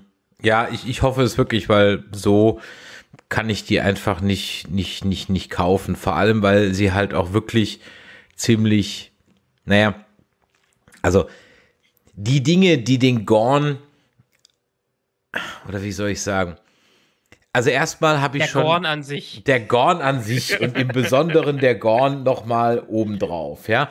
Äh, nein. Also zwei, drei, bleiben wir bei Pike. Du hast gerade Pike angesprochen. Ich komme nochmal auf die Gorn zurück und ihren Plan und die Föderation und so weiter und so weiter. Bleiben wir erstmal bei Pike. Und da muss ich ganz ehrlich sagen, äh, ich habe das Geschockte von Pike am Ende nicht verstanden. Du hast jetzt gerade nochmal so einen anderen Twist oder so eine andere Sichtweise reingebracht. Ich habe jetzt am Anfang ehrlich gesagt gedacht, okay, wo ist sein scheiß Problem? Also ich weiß natürlich, wo das Problem ist. Es muss spannend sein, aber das Problem ist halt, äh, es ist halt nicht mehr spannend, weil Naja, weil es halt nun mal schon erzählt ist. Ich, der, der, der, das Problem bei Pike ist, wenn Pike nur wüsste, dass er im Rollstuhl landet, schwer gezeichnet und behindert, aber nicht weiß wie, dann hätte diese Figur ja noch eine Spannung. Aber dadurch, dass er ja weiß, wie es passiert und dass er dann immer noch in der Sternenflotte ist und dass er dann Kadetten betreut und bla und Pi und Peng und Puff, das nimmt diesem Charakter, und das habe ich schon in der ersten Staffel gesagt, einfach jegliche Spannung. Jegliche mhm. Spannung. Und in dieser Föderation, in dieser Sternenflotte, die wir jetzt aktuell sehen, kannst du ja sowieso gegen jeden Befehl verstoßen. Es juckt ja sowieso keine Sau. Also frage ich mich ernsthaft, warum ist der am Ende so geschockt und guckt so völlig verdattert aus der Wäsche. Das habe ich ehrlich gesagt nicht hundertprozentig verstanden. Ähm, und was ich auch nicht verstanden habe in dem Zusammenhang ist, warum äh, die Föderation sich mal ebenso ein, äh, ein, ein Schiff wegballern lässt und nichts unternimmt. Weil es so ein bisschen wie die neutrale Zone ist, wo die da unterwegs sind. Okay. Die möchten, die, die, die das ist ja die Sache also Galax meinte gerade, er hätte Aliens entwickelt, instinktive Aliens, die ähm, sehr durchdacht sind. Ich glaube, wir sind noch nicht an dem Punkt angekommen, wo die Showrunner uns alles gezeigt haben, was hinter den Gorn steckt. Und deshalb kann es ja durchaus sein, dass die komplett durchdacht sind. Aber wir sehen jetzt erstmal nur die Spitze des Eil Eisbergs, äh, was, was das angeht. Und ja, Pike sehe ich weiterhin den Kon äh, Konflikt, aber ich glaube, das ist das, was die hiermit versuchen, ähm, zu lösen, beziehungsweise einen anderen Aspekt mit reinzubringen. Äh, Weil Pike ist eigentlich nicht jemand, der auf Konflikt gehen möchte. Der ist ein Konfliktvermeider, was wir auch in seiner Beziehung sehen, was wir in vielen Dingen sehen, wo er lieber reden möchte, anstatt zu ballern, was das angeht. Und hier ist er halt dazu getrieben. Er kann zwischen Pest und Cholera wählen. Einerseits bringt er seine Crew in Sicherheit und dann wäre es gut, aber äh, und dann gehen die anderen vielleicht drauf, weil er nicht weiß, was die Gorn mit denen machen, ob die einfach nur Futter sind. Oder er versucht sie retten, äh, zu retten und bringt den Rest seiner Crew ähm, in Bedrängnis. Also was ist halt wieder die klassische Situation, das Wohl des Einzelnen gegen das Wohl äh, der Allgemeinheit, was das angeht. Und das ist jetzt im kleinen Rahmen von dem Schiff hier. Und Pike, der ist ein Konfliktvermeider, der das nicht machen möchte. Und das ist einfach, er wird es machen. Ist ganz klar. Dieser Cliffhanger ist jetzt kein wirklicher Cliffhanger. Aber er wird einfach aus seiner Komfortzone heraus äh, was, was das angeht. Hm. Ja, im Chat, äh, im Chat, wird geschrieben, er weiß, was aus der Sache rauskommt, aber nicht, wie es mit seiner Crew weitergeht. Okay. Ja, gut kann man sich so zurechtdengeln. Wie gesagt, das Grundproblem ist halt in Discovery passiert. Hätte man ihn nicht so genau wissen lassen, was passiert, hätte man jetzt das Problem nicht. Okay. Ähm, ein anderes Problem, was äh, sich mir halt ergeben hat, aber das ist einfach wieder das Mittelmaß des Writers Rooms. Ich kann es einfach nicht anders sagen. Ähm, ich habe äh, also die, die Gorn kommen an und sie ziehen eine Grenze. Ist dir bei dieser Grenze etwas aufgefallen? Ich habe sie mal nee. nachgezeichnet, während du gesprochen hast. Also die Grenze wird mitten durch ein Sonnensystem gezogen. Mhm. Okay. Fällt dir was auf? Ist ein Auge? Nee. Wann gehört welcher Planet zu welcher Seite und wann nicht? So, so Rotation ja, ja, ja. und sowas. Rot ja? ja, ja, ja, Rotation. So mhm. ein Quatsch, so ein Quatsch. Das heißt, wenn sie an der Stelle die Leute nicht retten dürfen, warten sie halt einfach fünf Stunden, bis der Scheißplanet hier ist und retten sie dann. Ja, das könntest du ja über auch, auch über die neutrale Zone sagen. Nein, die geht, die geht um, die geht ja meandert ja um Systeme herum. Da gehört immer ein System zu einer Seite, ein System zu einer Seite. Ja, aber oh. verstehe, ja, sorry, ich weiß ja, nicht. ich verstehe ich, ich, ich, ich, sehe dieses ja, Ding und ja. denke mir so, und das Erste, was ich sehe, ist, ja, dann wart halt, bis der Scheißplanet in der Umlaufbahn auf der anderen Seite sind. Ja. Mhm. Verstehst du? Und, und, und Aber die, rotier, halt, die, die, rotieren doch mit. Die sind doch mit in Bewegung. So ein Quatsch. Jetzt redst du doch also jetzt mal ohne Witz. Also Wieso? Sonst müssten die doch die ganze Zeit ihren Antrieb dran machen, wenn die nicht in, auch in ja, der okay, gleichen und, Umlaufbahn wären. Und, und, und, und die Grenze hier, die rotiert dann auch mit, oder was? Ich habe keine Ahnung, wie die Visualisierung da funktioniert. Ja, ich verstehe absolut, was du meinst, ja. Mhm. So, und, das ist für mich genau das, was ich sage. Guckt da keiner mal drüber, der auch nur für fünf Sekunden nochmal irgendwie ein bisschen, bisschen Ahnung von irgendwas hat. Ich verlange da, finde ich, echt nicht zu viel. Und ich finde, das ist auch kein Nitpicking und das ist einfach nur so ein gewisser Anspruch, den ich an eine Multimillionen-Dollar-Produktion habe. Ich kann mir leider nicht helfen. Das ist wie mit mhm. diesem, mit dem Bild von dem Bird of Prey, wo dann extra noch gesagt wird, das hat ein ISS-Spotter geschossen und der Himmel ist bewölkt. Ich so, nee, der hat, hat da nicht geschossen, weil er wäre halt nicht rausgegangen an dem Tag, weil der Himmel bewölkt war. Uh, ja. ja. Und äh, das sind halt so diese, diese Dinge, wo ich mir, wo ich einfach so nicht weiß, ist es denen egal, denkt da keiner drüber nach. Und da denke ich mir, du willst aber Geld von mir, dass ich das gucke, jetzt mal ganz sachlich, du willst Geld von mir, dass ich das gucke und ich bezahle dafür. Denn ich bezahle ja dafür, dass ich es nicht auf Sat 1 mit Werbung sehe, was ich for free hätte, sondern ich bezahle jetzt dafür. Und da will ich irgendwie ernst genommen werden. Und das sind solche Sachen, da fühle ich mich einfach ja nicht ernst dem, genommen. Da sind wir bei dem klassischen äh, Konflikt. Also du kannst einfach nicht aus deiner Rolle heraus, dass du das Track haben möchtest, wie es früher. Nein, nein, nein, nein, nein, nein, nein, nein, nein, stopp, stopp. Nein, nein, nein, nein, nein, nein, nein, nein, nein. Ich will jemand, der jemand dabei sitzt, der sagt, pass mal auf, das mit so, das macht so keinen Sinn, macht das einfach anders. Ja, und im ja. Chat wird gerade geschrieben, wenn der Planet eine Umlauflahme von zehn Jahren hat, dann ist es trotzdem egal. Dann ist der Planet trotzdem mal bei der Föderation und trotzdem mal bei den Gorn. Das ist doch Quatsch. Das ist doch grundlegender Quatsch. Und in dieser Folge ist es so, dass die auf dem einen Viewscreen der Planet ja wirklich literally, literally 200, 500.000 äh, Kilometer von dem Planeten weg ist, da braucht man keine zehn Jahre mehr warten, da dauert zwei Stunden, bis die Scheiße da umgelaufen ist, ja. Ähm, verstehst du, das ist halt eben der Punkt und da komme ich mir okay, dann, wir, und, und wir wenn brauchen, dann, wie es im Chat geschrieben wird, wissenschaftliche genau. Berater, die auch Ahnung haben und das Wichtige, die Einfluss haben. Hm. Vielleicht sind die ja dabei und sagen, hey, du machst Murks und die Schreiber sagen, wir brauchen das aber für unsere Story. Nee, das brauchst du nicht für die Story, weil wo die rote Linie ja, gezogen wird, aber ist du völlig weißt, wurscht. was ich meine. Ja, und wenn ich dann halt noch verstehst und jetzt und jetzt jetzt kommen viele Dinge aufeinander. Das alleine würde ich ja weggucken. Ja, ja habe ich in TNG wahrscheinlich 3 Mal weggeguckt. 100 Prozent. Mhm. Ja, aber wenn ich dann halt noch ein schlechtes Alien Rip-Off sehe, das also nicht mal mehr als Hommage durchgeht, sondern einfach nur als uns fällt halt nichts Besseres ein. Ja. Mhm. Und wenn ich dann halt nur noch eine unoriginelle äh, Geschichte habe, die ich halt auch schon 12 Mal woanders gesehen habe. Und wenn ich dann halt noch eine Sci-Fi-Serie wie For All Mankind habe oder die Expans, die halt neue Konzepte reinbringt und es viel besser macht, dann bricht für mich das Franchise Star Trek zusammen. Das ist mein Problem. Und dafür möchte man Geld von mir haben. Und ich bezahle es auch noch, ich depp irgendwo, ja. ja. Und, äh, und, und das ist mein Problem an dieser ganzen Geschichte. Und jetzt habe ich äh, neun Jahre New Track gebraucht, um es am Ende des Tages mal auf einen Punkt zu bringen. Weil diese ganzen Layer, die bauen sich so auf. Jeder einzelne für sich war immer schon immer wieder da. Und wahrscheinlich gab es auch mal was beim Voyager oder Enterprise, wo mal zwei oder drei zusammenkamen. Und es gab auch mal eine Folge, da werden wahrscheinlich sogar noch 20 Layer mehr dazu gekommen sein. Aber dann hatten wir wieder das, was wir vorhin gesagt haben. Wir hatten 20 20 Folgen und was. Und diese Menschen hier, nochmal, ich bleibe dabei, sie haben ein Best-of von Star Trek auf YouTube gesehen und das ist deren Vorstellung von Star Trek und das ist es halt leider nicht. Und dann, wenn du das alles machst, kannst du von mir aus auch mal eine Musical-Episode dazwischen hauen und dann sage ich gar nichts.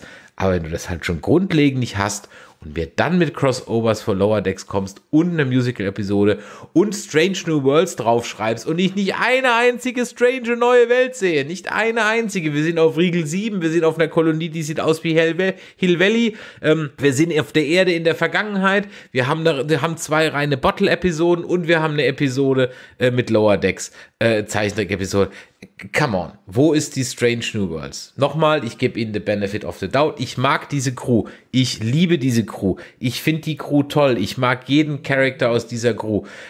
Aber gib denen doch bitte endlich mal was Anständiges zu tun. So, Rant für Ende, jetzt darfst du. Alles gut. Ich verstehe dich vollkommen.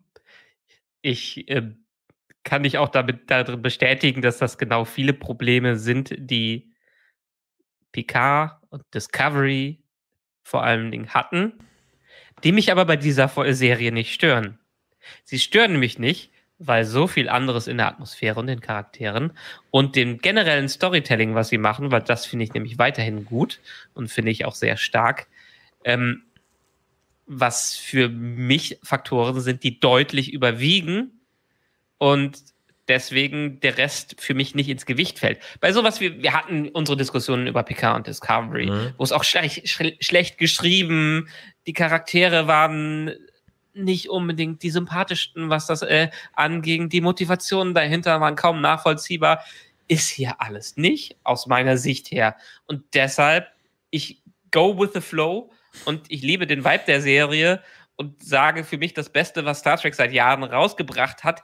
Ja, auch wenn Star Trek natürlich die Aspiration hat, haben sollte, noch größer zu sein, aber es ist, was es ist. Und dafür, für diese sich nicht ganz ernst zu nehmende Serie, die in dem Vibe ist, den damals meiner Meinung nach auch Toss äh, hatte und die vieles miteinander vermischt, finde ich das großartig, was hier geleistet wird. Und ich verstehe deine Kritikpunkte und ich weiß auch, ich kann es auch nachvollziehen, warum du so wü äh, wü wütend reagierst und so emotional reagierst und warum du nicht der spockige Chris bist, sondern der menschlich spockige Chris, was, äh, was das angeht. Äh, ja, aber das ist dann, glaube ich, einfach. Ich weiß nicht, ob du noch mal reinfindest, das wird wahrscheinlich bei dieser Serie nicht mehr passieren aber ich akzeptiere das, was die doch, doch, doch, doch, bringt. Doch, doch, doch, doch, doch. Ja. Und ich sag dir auch, ich sag dir, wann ich reinfinde. Denn den letzten Punkt, und das ist sozusagen meine Klammer um meine Kritik. Ja. Ähm, ich finde, in, korrigiert mich, schreibt mir eine Mail, info.nerdizismus.de, übrigens kauft unsere Taschen, nerdizismus.de slash shop. Ähm, ich finde, dass das, was ich verlange, also verlange, ja, verlange, mit ganz großen Anführungszeichen, verlange, oder als, mir als Fan wünsche, und ich weiß, da bin ich nicht allein. Ähm, ich finde, das, was ich möchte, kostet halt nichts. Also zumindest nicht viel. Es ist ja. ja, nicht so, dass ich sage, wow, die Modelle müssen besser werden, das CGI müsste besser werden oder und dann stehen da riesige Kosten hinten dran. Sondern spart euch den Nebensatz hier, schreibt doch einen Nebensatz da ja, das, okay, vielleicht Mr. Galaxy schreibt, das kostet. Ja, okay, es kostet wahrscheinlich einfach, es kostet wahrscheinlich mehr, aber ganz ehrlich, ich glaube nicht, dass ein guter Writers Room am Ende des Tages, ich meine, warum streiken die denn? Unter anderem auch, weil sie schlecht bezahlt werden. Also ich von daher, ich glaube. Ja, weil es einfach kostet, ne? Ja, aber ähm, am Ende des Tages nochmal, ist es halt eine Milchmädchenrechnung, denn wenn ich Star Trek so produziere, wirst du, wir gucken es, weil wir es halt gucken, weil wir halt immer schon Star Trek geguckt haben, aber es kommt halt niemand Neues dazu. Und wenn du jemand Neues mhm. dazu holen willst, musst du halt auch endlich mal mit Qualität überzeugen, damit jemand, weil im Moment ist es doch so, da kommt jemand in den Raum, Star Trek läuft. Wie hoch ist die Chance, dass der oder diejenige sagt, oh, ist das cool, da bleibe ich mal sitzen. Ja, sondern äh, Forever Nerd Girl kam rein, als die Musical-Folge lief und das erste, was sie aus dem Flur rief, ist, wann guckst du denn Disney-Filme? ja. Ja, vielleicht sind es die Disney-Gucker, die dann, dann nochmal reinschauen. Und vielleicht ist es genau das, dieses Zwischending zwischen Lower. Vielleicht sind es die Special-Episoden, die am Ende die Leute überzeugen, mit reinzukommen und wieder reinzukommen, was das angeht. In Deutschland haben wir weiterhin das Problem und wahrscheinlich überall woanders, dass es auf Paramount Plus äh, läuft, was kein Schwein haben will am Ende. Das ist nochmal die andere Thematik. Aber ich glaube, Strange New Worlds macht in dem Sinne alles richtig, weil die ihre Einzelepisoden so interessant machen und auch solche Dinge mit reinschmeißen, dass potenziell ein Zuschauer, wenn es auf Sat 1 laufen würde, auch da hängen bleiben könnte, weil er nicht die ganze Story hinter Michael Burnham verstehen muss. Ja, okay, in dem Punkt hast du, in dem Punkt hast du recht. Also, das ist eigentlich so der, das ist eigentlich so die, die Sache, die mich halt so, ich denke so, okay, ich, das, was ich verlange, das kostet doch jetzt, weiß Gott, keine Millionen Dollar, ne? Also, ja. dann, und dann denke ich mir, okay, dann wäre es halt auch irgendwie möglich. Und dann denke ich mir, okay, wenn ihr es nicht macht, dann ist es euch halt nicht wichtig. Und wenn es euch nicht wichtig ist, warum soll es mir dann wichtig sein? Und, ähm, oder ich fühle mich halt dann einfach irgendwie nicht ernst genommen.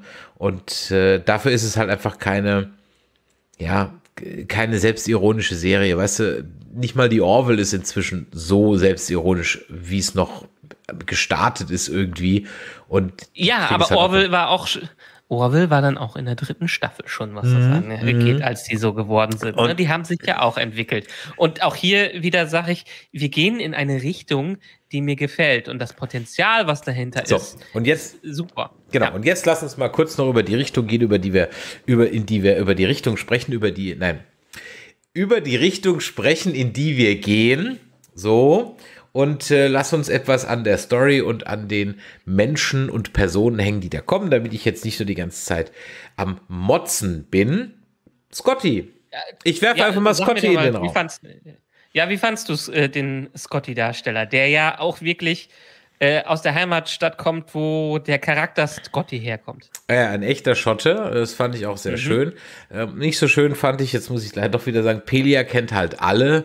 Ah, okay, macht das, weißt du, das macht das Universum wieder so klein. Es gibt anscheinend nur eine, eine Astrophysik-Tante oder keine Ahnung was oder eine Ingenieurs-Tante an der Akademie und sie kennt halt alle. Okay, egal. Also, Ja, für die Generation passt das, aber wenn es eine Ja, gut, Star, für die- für die äh, Generation. Sternflottenakademie Okay. Akademie Ähm, gibt, wenn sie nicht überall auf der Welt Sternflottenakademien haben, dann werden die sprechen ja auch in anderen Serien darüber, dass wen sie in der ja, Sternflotte ja, okay, hatten und gut, wenn geschenkt. Cisco darüber redet, wo Jake da hinkommt und sagt, äh, ja, den Lehrer Okay, hatte ich so ungefähr okay, in der Richtung, das gut. passt. Und Oh. von Pelia passt es auch, wenn sie Scotty integrieren wollen, dass die eine gemeinsame Geschichte haben. Was mir grundsätzlich am Schreiben nicht so passt, ist, dass ähm, von jedem gesagt ist, wird, wie toll er ist. Wir es aber schon fünfmal gesehen haben. Also ich habe schon Ortegas fünfmal toll steuern sehen, aber der Pike muss immer noch sagen, ey, du fliegst voll super. Und ich habe hier jetzt Scotty die super Falle bauen lassen und da muss Pelia halt auch nochmal sagen, ey, das bist voll der beste Student in meiner Klasse gewesen. Ich so, ja, ich habe schon verstanden, musst du mir die nochmal sagen. Außerdem, ich kenne Scotty, ich weiß, dass der gut ist. You don't have to tell me, ja. Okay, aber abgesehen davon, ähm, also ich habe damit grundsätzlich kein Problem. Ich frage mich jetzt nur, geht das jetzt dann jede Staffel so weiter? Also kommt dann jetzt McCoy und Chekhov und Zulu, weil der und jetzt muss er ja mal, und ich weiß, dass Mr. Stocky das weiß im Chat, hilf mir bitte mal aus und schreib das in den Chat. Die Vanguard-Romane, die sich rund um Dr. Benga drehen, waren die vor oder nach der Enterprise? Ich weiß es gerade nicht mehr. By the way, lest diese Romane, sie sind geil. Ähm, aber ich weiß gerade nicht mehr, wann die spielen. Ähm, also das ist, ist das jetzt sozusagen das Build-up, der Kirk hüpft schon die ganze Zeit darum auf äh, Praktikum, ähm, jetzt kommt Scotty dann dazu, der wird dann auch noch irgendwie reingeschustert und dann halt fehlt hier nur noch Pille, Chekhov und Zulu und haben wir die Gang wieder zusammen. Die Produzenten selber haben gesagt, äh, ich weiß es nicht mehr, wer, wer von den vielen Produzenten, weil ich habe auch nicht ja, es stehen ja nur wer das- 23, ja. Genau. Ich, ich lese immer wieder Interviews mit denen und was die vorhaben und was die erzählen, gefällt mir eigentlich ganz gut. Und sie meinen, ja, wenn sie es machen dürften und wenn sie ihren Weg hätten, würden sie direkt in die Legacy reingehen und TOS nochmal weitermachen. Da hätten sie Bock drauf. Aber sie verstehen, dass wir einen Weg dahin brauchen. Und wenn dieser Weg dann sieben Staffeln ist, wo die ihr eigenes Potenzial sehen und wo die auch hingehen möchten, mit sieben Staffeln, A20 Episoden, äh, dann nehmen die sich die Zeit, um das nach und nach aufzubauen. Sie haben aber betont, es muss nicht unbedingt immer sein, dass wir jede Staffel jetzt äh, irgendwann Zulu dabei haben und äh, nach und nach alle reinkommen. Sie wünschen es sich, aber ich denke mal, der Weg ist dann das Ziel, was das angeht. Die werden das erkunden auf dem Weg, was äh, wie die schreiben. Vielleicht ist ja deren Story die Strange New World. Ja, also das heißt, die wissen gar, gar nicht, wo sie hinwollen sollen, möchten. Keine Ahnung, weiß ich nicht. Naja, Also- den einen, den einen, das eine Ziel von Pike haben sie ja wei weiterhin und dass die Crew irgendwann komplett da ist. Nur jetzt muss einfach der Weg ausdefiniert werden und den Weg kennen wir in dem Fall ja noch gar nicht so gut, weil er noch nicht äh, in der Originalserie so dermaßen beschritten wurde. Hm, hm. Ja, das wird es wahrscheinlich dann am Ende des Tages sein. Also ich. Also im Chat wird gerade geschrieben, dass der Mbenga ist nach. Also während der Mbenga auf Vanguard ist, ist Kirk dann schon die Enter, also auf der Enterprise. Das heißt, das ist also, also zeitgleich, okay, ich verstehe. Hm. Schwierig. Schwierig, schwierig, schwierig. Ich, ich, also ich habe das Ganze ja dafür gefeiert, dass es so Kirklos war. Das ist wie Mandalorian. Weißt du, Mandalorian war auch richtig gut, als es einfach noch irgendwas gemacht hat, irgendwo in irgendeiner Ecke von dem scheiß Star Wars-Universum. Und jetzt wird so reingeschustert mit den Prequels, damit es irgendwie passt und dann wird es halt auch gleich schlechter. Glaube ich nicht. Er hat schon nachgelassen. Come on. Ah, er hat schon nachgelassen. Mandalorian. Oder meinst du jetzt das Strange Ja, World also Man ja, Strange World. Okay, bei Mandalorian, das hat nachgelassen. Auch hier gebe ich denen noch the benefit of the doubt, weil die ja in der Mitte ihrer Story sind angeblich, was das angeht. Aber ja, es hat deutlich nachgelassen. Haben wir ja auch kritisiert. Wir waren einfach bei dem Ding, es ist der Lonesome Warrior, der mit seinem Kid da entlang geht und der einzelne Stories erlebt. Hätten wären wir, wir zufrieden mit gewesen. Aber Star Wars läuft ja auch immer die, in die große Connected Universe Geschichte immer rein. Ist dann die letzte Folge der letzten Staffel von Strange New World, ob das jetzt die dritte oder die fünfte oder die sechste ist, ist dann sozusagen Kirk, der das Kommando übernimmt und dann heißt, oh, wir haben eine Fünf-Jahres-Mission. Er sagt dann, was ist eigentlich die Punchline von Kirk? Second Star to the left oder so. Aber das sagt er Äh, Chris Pine hat doch Punch It gesagt, oder? Hat der Punch It gesagt, aber hat, hat Shatner eine, eine Punchline gehabt? Weiß ich ehrlich gesagt gar nicht. Ich glaube ehrlich gesagt. Keine Energie, Energie, keine Ahnung. Also erstmal muss ja Kirk noch ein bisschen weiter als erster Offizier dienen, was das angeht. Was ist, sind die typischen Jahre, die man er hat bestimmt drei, vier Jahre, wo er da unterwegs, äh, unterwegs ist. Was an, und Strange Worlds muss einfach dahin kommen. Ich wünsche mir, dass sie dahin kommen, weil das ist die einzige Serie, wo ich es gerade gut fände, wenn sie wirklich sieben Staffeln bekäme ihr Potenzial ausloten könnte. Aber im, sind wir ganz ehrlich, so viel wie Paramount immer mal wieder an Kosteneinsparungen raushaut und wenn Strange Worlds einfach nicht die Zuschau Zuschauerzahlen reinbringt, dann können wir froh sein, wenn wir fünf Staffeln bekommen. Ja, also, wie gesagt, nochmal, nicht falsch verstehen. Ich finde es das beste Track, was wir mit Lower Decks in den letzten Jahren gekriegt haben.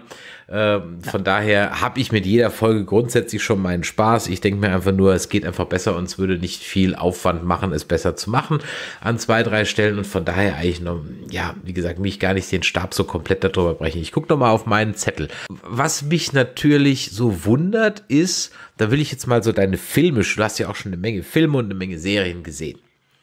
Wenn du jemand einen Abhang runterfallen siehst, meistens den Helden, oder in dem Fall ein Flugzeug respekti- respektive Shuttle hinter einem Baum oder Berghorizont verschwindet. Wie groß ist deine Angst, dass diese Shuttle dann auch wirklich gecrashed ist, wenn es auch erstmal so 10 Minuten im Film oder in der Folge ist? Also du ich jetzt noch nicht ganz. das Shuttle, das Flugzeug stürzt ab. Ja. Das Shuttle Man stürzt sieht es dann- ab. So, Man sieht es hinter dieser- einem ja, ja, ja, Baumwipfel okay, und dann kommt es wieder. verstehe. Wie Das oft, Klischee, dass man kurz vor, kurz vor Ende nochmal hochzieht. wie oft muss ich das noch sehen? Das haben wir jetzt in Insurrection gehabt, das haben wir in Golden Eye gehabt, das haben wir, keine Ahnung, 30 Mal in Mission Impossible gehabt. Also, verstehst du, warum bringe ich, nein, jetzt mal ohne Witz, jetzt ernst gemeinte Frage. Ernst gemeinte Frage. Gibt es noch irgendjemand auf der Welt, der da ernsthaft den Atem anhält und sagt, oh Gott, ach Gott, sie haben es geschafft. Ja, weiß ich nicht. Ist es so? Gibt es noch jemand? Ist das für die 6, 7, 8-Jährigen, die das halt noch nicht gesehen haben und nicht für uns alten Säcke, Ja. die es halt schon. Ja. Ist das so? Okay. Gut, dann, dann ist das so. Ich meine das nicht als ich, ich, kann, ernst ich kann von meiner Frage. Tochter her bestätigen, ich kann von meiner Tochter her bestätigen, alles, was sie guckt an Paw Patrol oder so, wo solche Sachen geschehen, die hat erstmal Angst um die Charaktere. Die hat Okay, erstmal richtig gut. Angst darum. Ich weiß nicht, wie es dann mit 16, 17 ist, wenn man in dieser medienüberfüllten Umwelt schon alles gesehen hat, ob das noch reißt. Aber nur gut, das ist halt ein Klischee-Filmtrick, den man einsetzt, den keiner vom Hocker reißt, aber der einfach einen gewissen Effekt hat. Brauche ich auch nicht immer drin haben. Mich stört aber jetzt auch nicht groß, wenn es äh, wenn's passiert. Ich meine, hier wurde es ja auch nicht so gespielt, dass die crashen würden. Hier wurde es ja deutlich. Ja klar, der, der Pike hat ja der Ortegas noch fünfmal gesagt, was für eine tolle Pilotin sie ist, falls wir es nicht on screen schon dann noch gesehen haben. Äh, das, naja, das war jetzt wirklich mal eine ernst gemeinte Frage, weil das sind halt so Sachen, so Held stürzt die Klippe runter und du weißt halt ganz genau so, ja, okay, und jetzt kommt der Shot, wo Ja. sie die eine Hand wieder hochkommt. Mir so, come on, das haben wir doch jetzt schon Wie- 30 wie der Jahre, wie der- 40 Jahre gesehen. Ja. Wie der Galax sagt, es gibt Genres, die haben ihre Standardshots, was das angeht. Es kann nicht jeder immer wieder ein neues John Wick sein, was das angeht, oder ein Top Gun, äh, das auch mit Top Gun 2 vieles wieder revolutioniert oder besser macht. Also ich, ich, ich frage mich, ich, ich frag mich halt, ja. warum man da auch nicht mal mit den Erwartungen der Zuschauer halt spielt. Weißt du, das wird halt, das passiert halt nicht, ne? Ähm, ja, das, ja. das, das, das frage ich. Aber dafür halt. war die Story ja auch nicht aufgetreten. Nein, alles, alles gut, dafür. Die, nein, genau. die, die Story nicht. Wir mussten ja auch wieder unsere Checkmarks machen. Wir mussten ja das Trümmerfeld der Woche abhaken. Wir mussten den äh, üblichen J.J. Äh, Abrams Gedächtnisraumspaziergang machen. Der muss ja auch Aber auf jeden Fall rein. Aber es sah gut aus. Aber es sah gut aus, ja. Ja. Und die Musik war gut und die Schauspieler waren gut. Das sagen wir seit 2009 ja. zu beschissenen Geschichten. Ja, aber hier muss ich es nochmal betonen. Die gecrashte, wie auch immer sie hieß, das andere Schiff. Äh, auch geil, ich, dass ich das keiner merken kann. Ne? Ja. ja, natürlich sah es schick aus. Ich konnte es mir auch nicht merken, wie es heißt. Ähm, ja, und man hat Kamerafahrten, die nicht ganz das Erlebnis zerstört haben, also nicht zu wild drum. Ja, oh, da, weißt du noch, diese 180-Grad-Drehung bei, bei Discovery for absolutely no reason? Ich glaube, das war so in der mhm. zweiten Folge der ersten Staffel, wo die Kamera so, so einfach so völlig grundlos auf der Brücke sich so einmal 180 Grad gedreht hat. Auch, Weil man es kann. Weil man es kann, genau. Was man auch hat, aber nicht benutzt ist, wo ich mir so dachte, so, schöne Gorn-Protokollbox habt ihr da mit schönen Gyrogan, äh, nee, Kryogranaten Kryogranaten, schwieriges Wort, Kryogranaten. Sag das dreimal hintereinander, Kryogranaten. Kryogranaten, Kryogranaten, Kryogranaten. Ach, halt die Fresse. Ähm, Wäre schön, ich wenn es Cider drin. Ich habe einen Cider drin, da kann man besser drehen. Wäre schön, wär schön, wenn sie sie halt auch mal benutzt hätten, ne? Ja, ja, ja. Das stimmt. Von mir aus macht Gorn, macht das, das ist mal was Neues, das würde ich toll finden. Also ich habe ja, die, die, die kennen wir nicht. Mich stört einfach, dass die halt einfach nur Aliens sind. Ich kaufe noch nicht so, aber nochmal, ich gebe denen, wie du gesagt hast, Benefit of the Doubt, den Cliffhanger, dass wir in der, aber das möchte ich jetzt dann auch wirklich in der nächsten Folge sehen. Ich möchte jetzt in der nächsten Folge mal einen Gorn-Captain sehen, der nicht nur macht, sondern der reden kann und wenn er übersetzt wird, von dem ich dann sagen kann, okay, das ist eine Rasse, die zu interstellarem Raumfahrt fähig ist und solche Riesenschiffe baut. Und dann ja. können wir gerne mal komplett neu reden. Tja. Wie geht's denn eigentlich weiter mit dem ganzen Kram? Ähm, kommt jetzt Discovery im Sommer, ne? Mm, kommt es nicht im Winter? Die wollen noch an ah, Ende oder Anfang weiter? des Jahres das machen. Okay. Ja, ich glaube irgendwie so. Da müssen wir noch ein bisschen warten. Ich meine, wie lange sind die jetzt mit der Staffel schon fertig? Zwei Jahre so ungefähr. Und schieben es immer weiter nach hinten. Mhm. Ja, Strange New Worlds hat, glaube ich, während der Produktion der dritten Staffel jetzt aufhören müssen. Wegen dem Writer Strike und dem Actor Strike, der noch dazu gekommen ist. Aber war es nicht mal so, dass der letzte äh, äh, Writer Strike ganz hervorragende Geschichten rausgebracht hat, weil man dann so limitiert war und viele, viele Dinge machen musste? Teils. Also Teils, einerseits ja. hatten wir natürlich, hatten wir Dr. Horrible, was währenddessen produziert worden ist. Mhm. Andererseits argumentieren ja viele Leute, dass der Writer Strike Trump groß gemacht hat. Weil Reality TV plötzlich riesig war, weil man keine Skripte dafür brauchte und dann der große Reality-TV-Boom da war und Trump auf die ähm, ja, Bildfläche gebracht hat, auf die Bildschirme. Hm. Oh mein Gott, wir werden alle sterben. Ja, ist das sowieso. das, das ist auf jeden Fall sicher. Ja, also packen wir diese, diese zweite Staffel mal noch einmal. Let's wrap it up. Ja, also die ja. zweite Staffel mal so. Also, ich war jetzt in der Tat, muss ich ganz ehrlich sagen, echt ein bisschen enttäuscht von dem ganzen Ding. Das war okayisch bis gut, aber halt auch teilweise so grottig und wie gesagt, die Musical-Folge, die zähle ich einfach mal nicht. Ähm, ich habe, und das muss man schon sagen, durchaus extremst gute schauspielerische Leistungen gesehen. Allen voran Christina Chong fand ich sensationell. Also das, da leide ich wirklich mit ihr und ihrem Struggle zu dem, ihrer, ihrer unglücklichen Liebe zu diesem alternativen Kirk und so. Das finde ich wirklich ganz, ganz toll. Beim Spock habe ich inzwischen nach der Lower Decks Episode die Hoffnung, dass sie sich dessen bewusst sind und den jetzt irgendwie dahin führen, wo er hin muss, damit er am Ende da ist, wie wir ihn kennen. So. Das heißt, diese Bedenken sind auch ausge ausgeräumt. Ähm, ob ich diese hm, Enterprise Crew Reunion durch die Hintertür sehen will, weiß ich nicht. Vielleicht auch eher darum, weil ich nicht weiß, machen die dann was draus? Also kriege ich dann noch die Crew komplett auch nochmal in zwei, drei weiteren Staffeln zu sehen oder ist dann Schluss und ich muss es mir dann Toss äh, so irgendwie.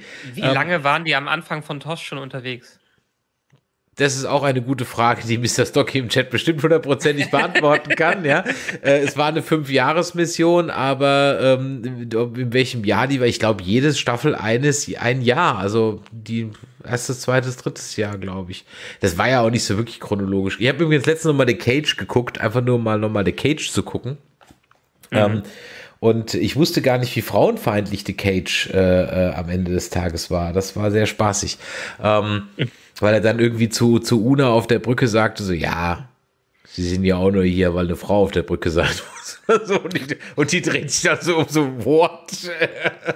du, äh, wenn, wenn wir eine Star Trek Durststrecke haben und es nicht kommt, ich bin dabei, staffelweise nochmal TOS zu besprechen. Also zu, zumindest staffelweise, weil pro Folge, ja. das machen die Kollegen von Trek am Dienstag definitiv besser als wir. wir Aber mal so eine Staffel nochmal gucken und, und dann lasse ich mich auch gerne nochmal, also wie gesagt, dass da natürlich alte Stinker dabei waren, die schrecklich naiv waren, die fand ich als Kind ja auch schon scheiße, wenn sie, weil es war halt der, der Mafia-Planet, der Römer-Planet, der Nazi-Planet, der Ritter-Planet, der Geister-Planet und so weiter und so weiter. Ich weiß auch, warum sie das gemacht haben, weil sie halt keine Kohle hatten und die Sets waren halt da und es war halt billig und bla, schon alles gut, ne? Aber es gab halt eben auch zwischendrin Folgen, die halt eben äh, einfach Dinge angestoßen haben bei vielen Menschen und das Grundsetting Star Trek hat bei vielen Menschen einfach was getriggert, dass sie Astrophysiker werden wollten und so weiter und das sehe ich halt einfach nicht mehr. Also nochmal zurück zu Strange New Worlds. Das war okay, aber auch mehr nicht. Ich glaube, in der Retrospektive wird diese Staffel bei mir laufen so, hm, guck die erste und die letzte Folge und wenn du noch was lachen willst, die Musical und die Lower Decks Folge und die anderen kannst du aber getrost überspringen. Also du brauchst die alle nicht. Du guckst die erste und die letzte und zur Unterhaltung Lower Decks und die Musical Folge. That's it. Den Rest guckst du nie wieder. Mein Fazit für diese Staffel, ich fand die richtig stark. Ich fand die erste Staffel schon gut. Die hat uns ein Star Trek gezeigt, wie wir uns es nochmal eher wieder wünschen würden. Die zweite äh, Staffel ist für mich extrem stark gestartet, auch wenn ich Broken Circle mittlerweile als eher die schwächere von den ganzen Episoden ansehe. Ähm, Ad Astra per Aspera habe ich schon bei der Folge enorm gelobt, dieser ganze Auftritt der Schauspielerin, die auch äh, die Anwältin gespielt hat. Ich fand die Folge richtig groß. Tomorrow, Tomorrow and Tomorrow wunderbares Schauspiel von Christina Chong und von der Atmosphäre hat es mich mitgenommen. Dann Among the Lotus Eaters, Charades. Okay, Charades war dann auch in Ordnung. Ähm, da konnte man ein, zwei Episoden dazwischen wieder abschalten, aber dann ab These Old, Old Scientist, ab Folge 7, 7, 8, 9 und dann 10 wieder mit einem kleinen Abfall. Immer stärker geworden, immer besser geworden, sehr viel Spaß drin gehabt, sehr großartige schauspielerische Leistungen, sehr spaßige Stories dazwischen. Ja, man kann viel Nitpicking da reinmachen, aber alles in allem würde ich dieser Staffel eine 8 bis 9 von 10 geben, weil die mich vollkommen abgeholt hat. Die hat mich vollkommen abgeholt. Okay. Und ich würde es hier, ich würde das Ganze auch nochmal wieder rewatchen. Also einige Sachen, vielleicht diese mit den Lotus Eaters, mit dem Vergessen äh, dazwischen, hm, kann man sich drüber streiten, aber ach ja, auch selbst Lost in Trans Translations war ganz gut. Aber viele von diesen Folgen könnte ich mir und werde ich mir auch nochmal anschauen. Und das ist das erste Mal außer Lower Decks, dass ich für das für eine Track-Serie im neuen Zeitalter gesagt, äh, gesagt habe. Lower Decks kann man sich nebenbei nochmal anschauen. Aber das hier kann man mit Bewusstsein sich nochmal angucken und viel Spaß dabei haben. Deshalb großartige, wie sagt man in Englisch, Sophomore Season äh, die für mich sehr, sehr viel richtig gemacht hat, äh, die vieles geordnet hat, viele äh, Charaktere nochmal vertieft, vertieft hat und uns jetzt einen Status gibt, ähm, der es so richtig losgehen lassen kann mit einer großen Story. Und das ist mein Fazit davon. Okay, prima. Also fair enough. Ja, also ich, ich, ich finde das gut, wenn, wenn du das so siehst. Ich bin da ein bisschen kritischer. Ähm, wie gesagt, wenn ich mir die Tagline Strange New Worlds gebe, dann sehe ich die Strange New Worlds halt einfach nicht. Das ist halt einfach ein Problem bei dem ganzen Ding. Punkt. Ähm, ja. Punkt. Das, das ist halt wirklich einfach ein Problem. Dann hätte ich das Ding einfach Star Trek äh, altbekannte Welten nennen können und dann hüpfe ich halt alles nochmal ab, dann ist okay, ich vermisse einfach das, das Neue und das Originelle.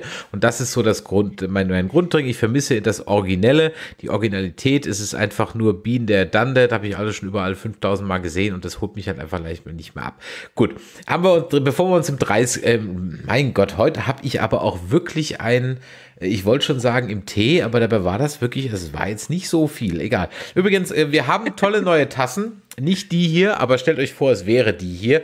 Und da steht der Nerdizismus drauf. Ihr müsst auf nerdizismus.de slash shop gehen. Da gibt es Tassen. Ganz ehrlich, die kosten 16 Euro. Das ist nicht zu viel für eine Tasse. Wir verdienen da gar nichts dran, aber ihr habt eine Nerdizismus-Tasse. Genau. Von daher geil. Und äh, ihr könnt und? euch ein T-Shirt holen. Und da könnt ihr nämlich immer sagen, ich habe die schon gehört, bevor die kommerziell waren. So. Ja, und das Wichtige ist, wir haben zehn Freundescodes zu vergeben wo es ein paar Rabatte dafür gibt. Also wer einen Rabattcode für den Shop haben möchte, ich glaube, es ist 10% oder sowas, der schreibt uns gerne eine Mail. Nein, nein, nein, nein, stopp, stopp, stopp, stopp, stopp. Nein, okay, Entschuldigung, nein, du hast da schon was anderes. Du hast da schon was anderes. Ja, der schreibt ein, der Wir schreibt. haben uns mal wieder nicht abgesprochen. Ja, der, der schreibt, der schreibt eine Bewertung bei iTunes oder bei Podcast Addict, macht einen Screenshot und schickt den an info@nerdizismus.de. So. Richtig, ja? richtig. Genau. Immer einen Benefit die, draus das, ziehen. Ja, perfekt. Ähm, genau das, was Chris gerade gesagt hat. Und dann haben wir nämlich zehn Rabattcodes zu vergeben. Dann könnt ihr euch günstiger was holen. Wir haben es selber noch nicht. Wir müssen uns selber auch noch was bestellen, genau. um uns von der Qualität zu überzeugen. Nerdizismus.de slash shop. So. Äh, dann gibt's, ja. dann gibt's noch, äh, wie gesagt, nochmal die Ankündigung für die Nerdy Christmas Live Show am 20. August im Rabbit Hole Theater in Essen. Da wird es demnächst Karten geben. Es gibt nicht viele Plätze. Ich glaube, es gibt maximal 50 Sitzplätze. Die Karten werden so um die 15 Euro kosten. Und äh, wir hoffen natürlich ganz viele von euch da zu sehen. 20.10. Freitag im Rabbit Hole Theater. Chris und Chris, das wird sehr spaßig werden. Und ähm, ja, dann bleibt mir an der Stelle noch zu sagen, Michael, ich danke dir, dass du auch mit mir wieder diese zweite Staffel Stranger Worlds durchgestatten hast, dass du meine Launen, meine Wutanfälle, mein Hadern ertragen hast. Ähm, äh, das möchte ich natürlich von euch auch, liebe Hörer da draußen. Da schreibt ihr an die 0152596477709 eine Sprachnachricht. Kommt auf unseren Discord. Ähm, da wurden wir letztens gefragt, ob wir das auch lesen. Ja, wir lesen alles. Wir lesen nur nicht alles vor. lesen tun wir immer alles. Wir lesen nur nicht alles vor. Ähm, ihr könnt auf nerdizismus.de natürlich auch einen Kommentar hinterlassen.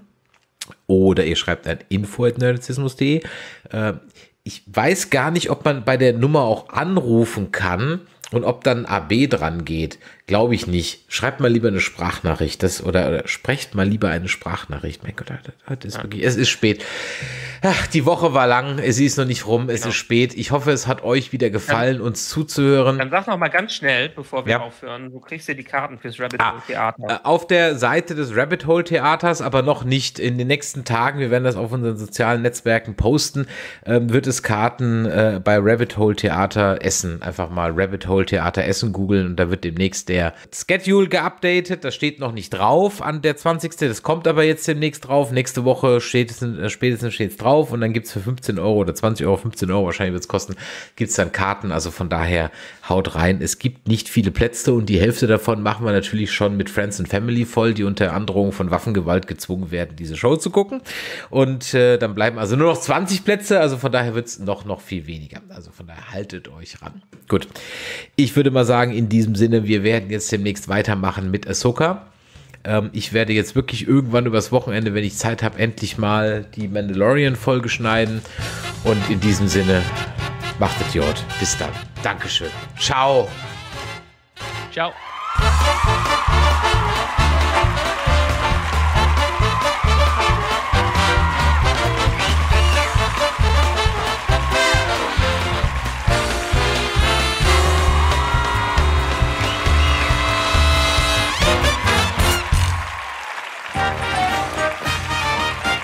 Eine Produktion des Podcast Imperiums.